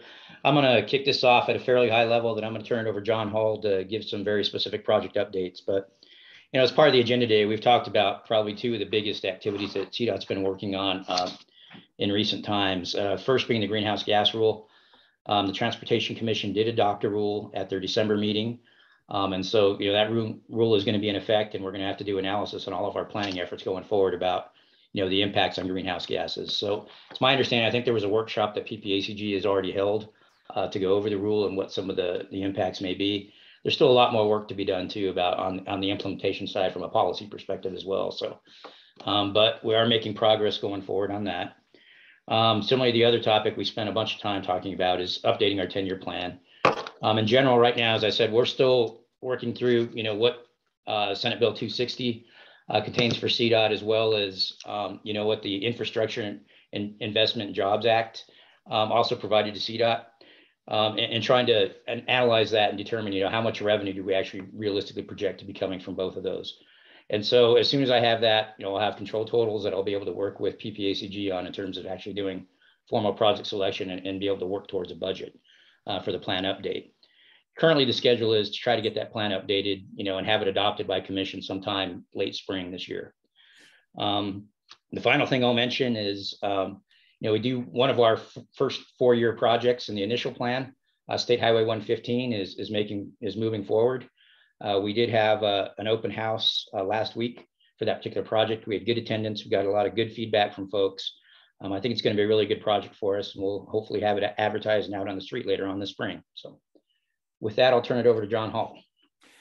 And if you if you might uh, indulge me for a second before uh, Mr. Hall starts, uh, just want to express my appreciation for that work you're doing on 115. I know the residents deeply appreciate it. I did go to the open house as well as several others from uh, PPACG and uh, looking forward to the start of that project. And we know that there's a lot of danger on that road with high speed, heavily loaded trucks intermingling with local residents getting uh, uh on and off 115. And some key parts of that project is acceleration and deceleration lanes so the residents can get in and out and a section of the road that will be widened and a really an outdated and obsolete bridge that's way too narrow uh, reconstructing that. So appreciate CDOT, uh, CDOT's work uh, in that effort, along with all the other great projects that are going on down here. So thank you. So Mr. Hall. Yes, thank you. So um, the first one I'd like to just chat about is the MAMSIP projects overall, and it looks like they're um, they're really making there's gonna be a lot of movement on across the board on all the MAMSIP projects. Um, you got 94 Blarney, um, intersection improvements out there, uh, starting here in about in April, May, uh, excuse me, in March, April. Um, utility work has already been ongoing on that. You've got um, South Academy, um, and uh, the bridges over South Academy on I-25. Uh, they should be look. Should, we should be looking at restriping that imminently here, um, and and starting with the bridge removal work on that. South Academy widening also looking to to begin construction in March uh, 2022, so March of this year. Uh, Charter Oak Ranch as well. They're they're placing the original the initial erosion control and the overall I-25 rehab. Um, they're south of the Academy Boulevard, you know, down um, stretching towards Fountain. Uh, they're in the process of doing some restriping on that and getting ready to place concrete barriers. So that project is kicking really fully into gear over the next uh, few months at, at many at, multi, at all the locations. All right, powers and research is um, the biggest thing you're going to change. Everybody's going to see. Obviously, they're working on the bridges and and uh, abutments, all that. And the biggest thing you're going to see is it looks like the west side approach there on research will open up as a right in, right out, so that traffic will be able to access Powers Boulevard again. So um, there still won't be the through movement across Powers. You'll have to use the um, turnarounds to the north and south, but um, we're getting getting getting some more mobility and making good progress on that project. Uh, also we have uh, an overlay resurfacing of US 24 Chipeta to Woodland Park should be kicking off all night work um, here as the spring warms up. And you guys are ready to just discuss the 115 project. Um, let me just make sure. Yeah, 24 FY for those who might be aware. It looks like the there was a curve correction there at 24 at Florissant, and that got um, we had two high bids. We weren't able to award that project. Um, but Scotch Unit is also working to advertise um, improvements in Fairplay, um, intersection improvements uh, in and around US 285 and State Highway 9. So that project is also on track to advertise in the coming uh, couple months. Let me see if I have another project. I think that's it for my update. I would like to add one other thing, and that is just that I did try to do some research over the last half hour. Some more on that Woodland Park, north of Woodland Park, US 67, that's on the 10 year plan. And I'm looking back at my notes and talking with Shane. I believe that project is is really there's been very little CDOT work on it. I believe it's driven by Teller County and or Woodland Park is actually had the initial consultant work on it. There hasn't been any CDOT work. So I am not, I was not able to drum up any exact scope on that. Um, but I will make sure to pass on to Shane to make sure the TAC, you know, has, has a very, has a detailed understanding of the scope in that project and, and that once it comes to you guys for approval, that, that information goes with it. Yeah, but thank you, Mr. Hall. Um, there was a comment from a Region Two representative, and I'm forgetting the lady's name. Wendy Pettit. Wendy Pettit, thank you. Wendy Pettit made, made mention of uh, starting of funding for the study in July of 2024, and that was a CDOT rep. So I don't know. Yeah. And now, I- I now I'm not sure if that was in reference to uh, uh, Teller County funding or CDOT funding, but nonetheless, Oh. that point was made. I'm, I'm, I'm, now that I'm pretty confident, that is, there's F, two million dollars of RPP twenty twenty-four slotted for us to, to kick into that project. I just don't, I, I haven't, I asked Scott Schnocky, the other resident engineer, I don't think the exact scope is actually, neither he nor I are aware of the exact scope that we would be pursuing on that, you know, other than John, the more that's, general that's a partner project with the city of Woodland Park now. Um, it's kind of had some evolving changes made in the last iteration of the, of the tip and whatnot. So it's, it's a partner project and there's five hundred thousand dollars of our funding to start with. And then the, um, city of Woodland Park is going to match the funding and, and we've given them enough time to be able to save the funding they need to, to match our federal funding so that we can move forward. Yeah, bottom line is, I'm- I apologize, I, I, I have not been able to dig up the exact scope, but I'll, I'll make sure to pass it on to Shane to Yeah, no, no worries, John. We appreciate your bringing it up again. And I, um, I know Mr. Stone has a comment, but I also know Mr. Zuluaga. Did you still have a comment? Or are you good? Okay, uh, Mr. Stone and then, uh, the mayor. Yeah, thank you, Mr. Chair. Uh, yeah, John, this is Erik Stone, Teller County. Um, just for clarification, uh, because it kind of breezed past before I got the, the details fully, uh, figured out in my brain that, uh, the improvement on, you said it was a, uh, curve straightening US twenty-four at Florissant. Uh, you said the bids were high on that, so it wasn't awarded. Is that, was that That's what you were saying? That's correct. And next step on that would be rebid? Yeah, I, I, I don't know exactly when we would, we would do that. I, I'm, I'm not sure if they're gonna try to do that before. Um, we will re-advertise, but the timing is not certain, is the, is the bottom line of the update I have right now. We're still working on that timing. Thank you. Being up in the mountains, I think it might be hard to get in and get a more cost-effective bid this year or so for, for this summer's construction. I think that's being evaluated. I would imagine that would be a challenge uh, everywhere because there's an enormous amount of construction going on everywhere. So that could be tough. All right, uh, Mayor? Thank you. Um, on the Charter Oak Ranch Road project, I noticed they took the temporary um, changes of the uh, 20, down to 25 miles an hour to permanent signs, which is great because they're not going to blow out in the road next time we have the, those 100 mile an hour winds. But we do not have a sign yet that says businesses open. And that was a request from the businesses 10, 15 years ago when this project was discussed, that we have a sign on the road that businesses are open during construction. Um, Since they are putting that roundabout right in the intersection where you turn, it's going to get kind of confusing. So we want to make sure that, uh, that that is, that's up there. So, thank you. Thank you, uh, Mr. Elsner. Yes, um, when we start talking Park County, I appreciate the nine two eighty-five interchange that is going to be, uh, I think, a huge improvement after the next two years and it's done. Um, but we do have, uh, the bridge that's south of Fairplay. Um, I, I don't need an answer today, but if you could get an idea of, um, when they're going to start that one up again. Uh, they stopped the project last year because of the fires and the mess that they were having on I seventy. And two eighty-five was one of those roads people were using. And then I believe there were a couple other bridges that uh, were on the, the radar. And I can't remember if it was this year or next year.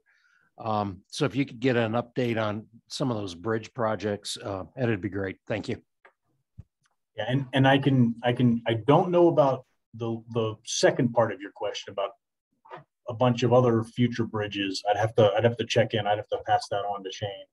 See if we can get you that information. But I do have, I'm glad, I appreciate you mentioning, I do have a note here that that bridge on 285 uh, Park County there um, is going to continue construction, kick back off in the spring. Here.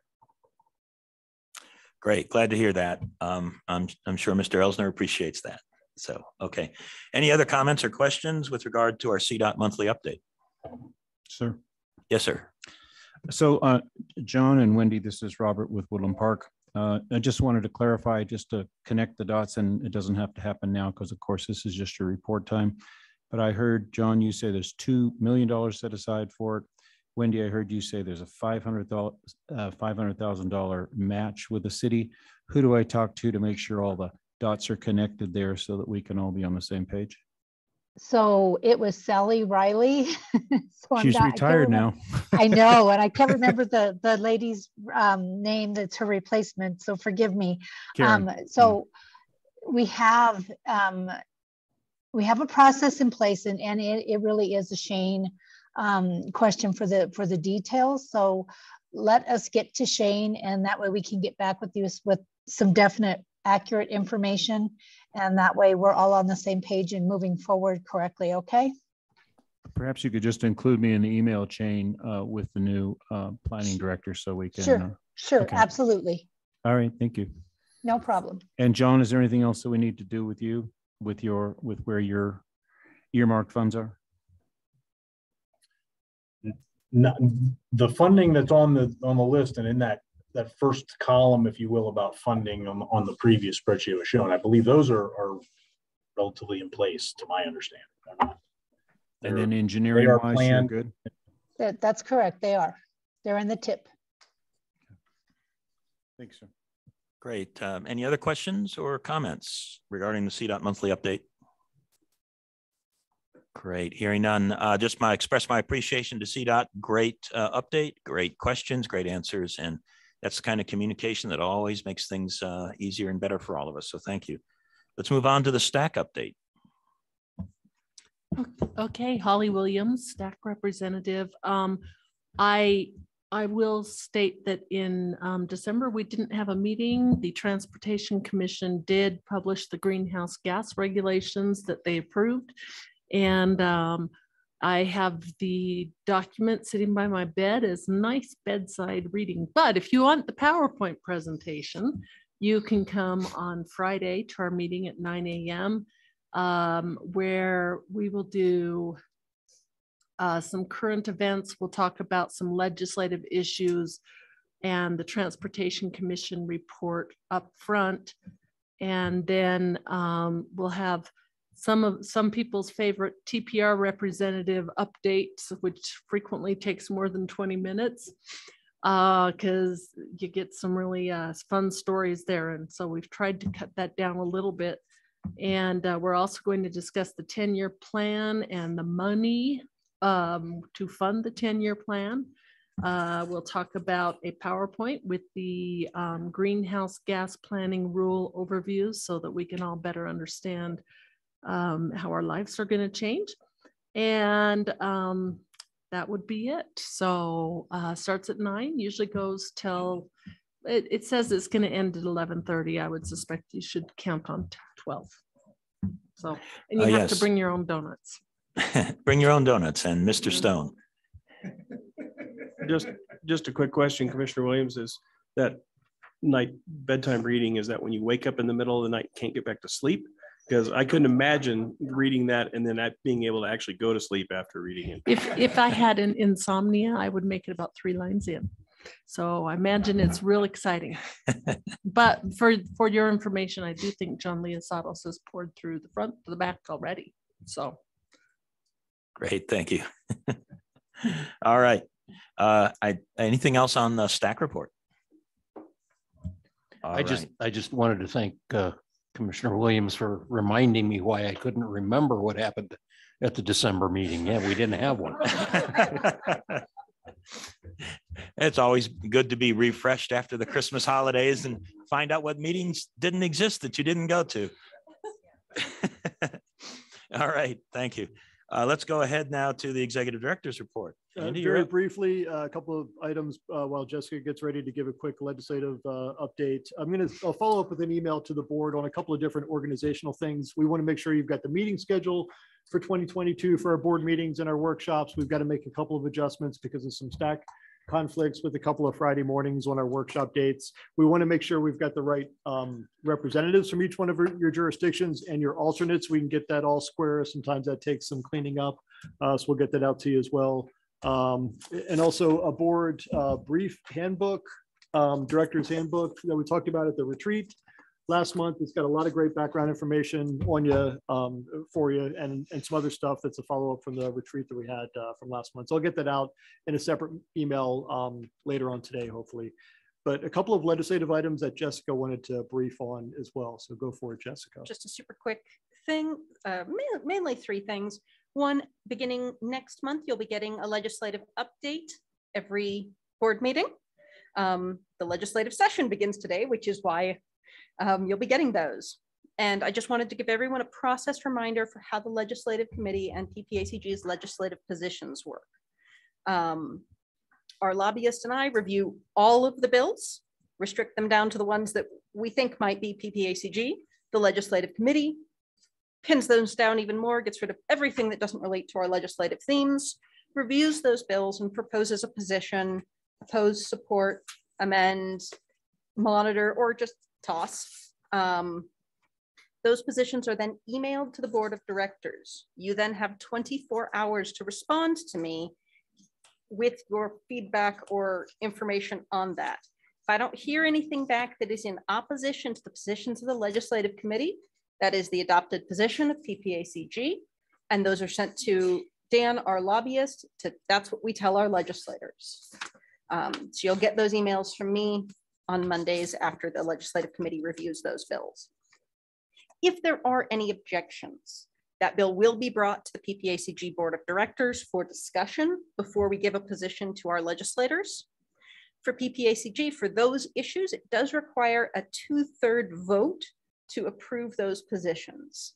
Um, It is not just a majority. It does require that two-thirds of the board um, that are present to vote that day must approve the position being recommended. Um, And those are the things I wanted to highlight. I think I covered everything, and the committee is recommending um, Dick Elsner and Sharon Thompson as our co-chairs for 2022, um, which is something that is confirmed slash appointed only directly by the board chair. So Great, thank you very much. Appreciate the quick update. Are there any comments or questions with regard to those procedures? Uh, yes, Mayor.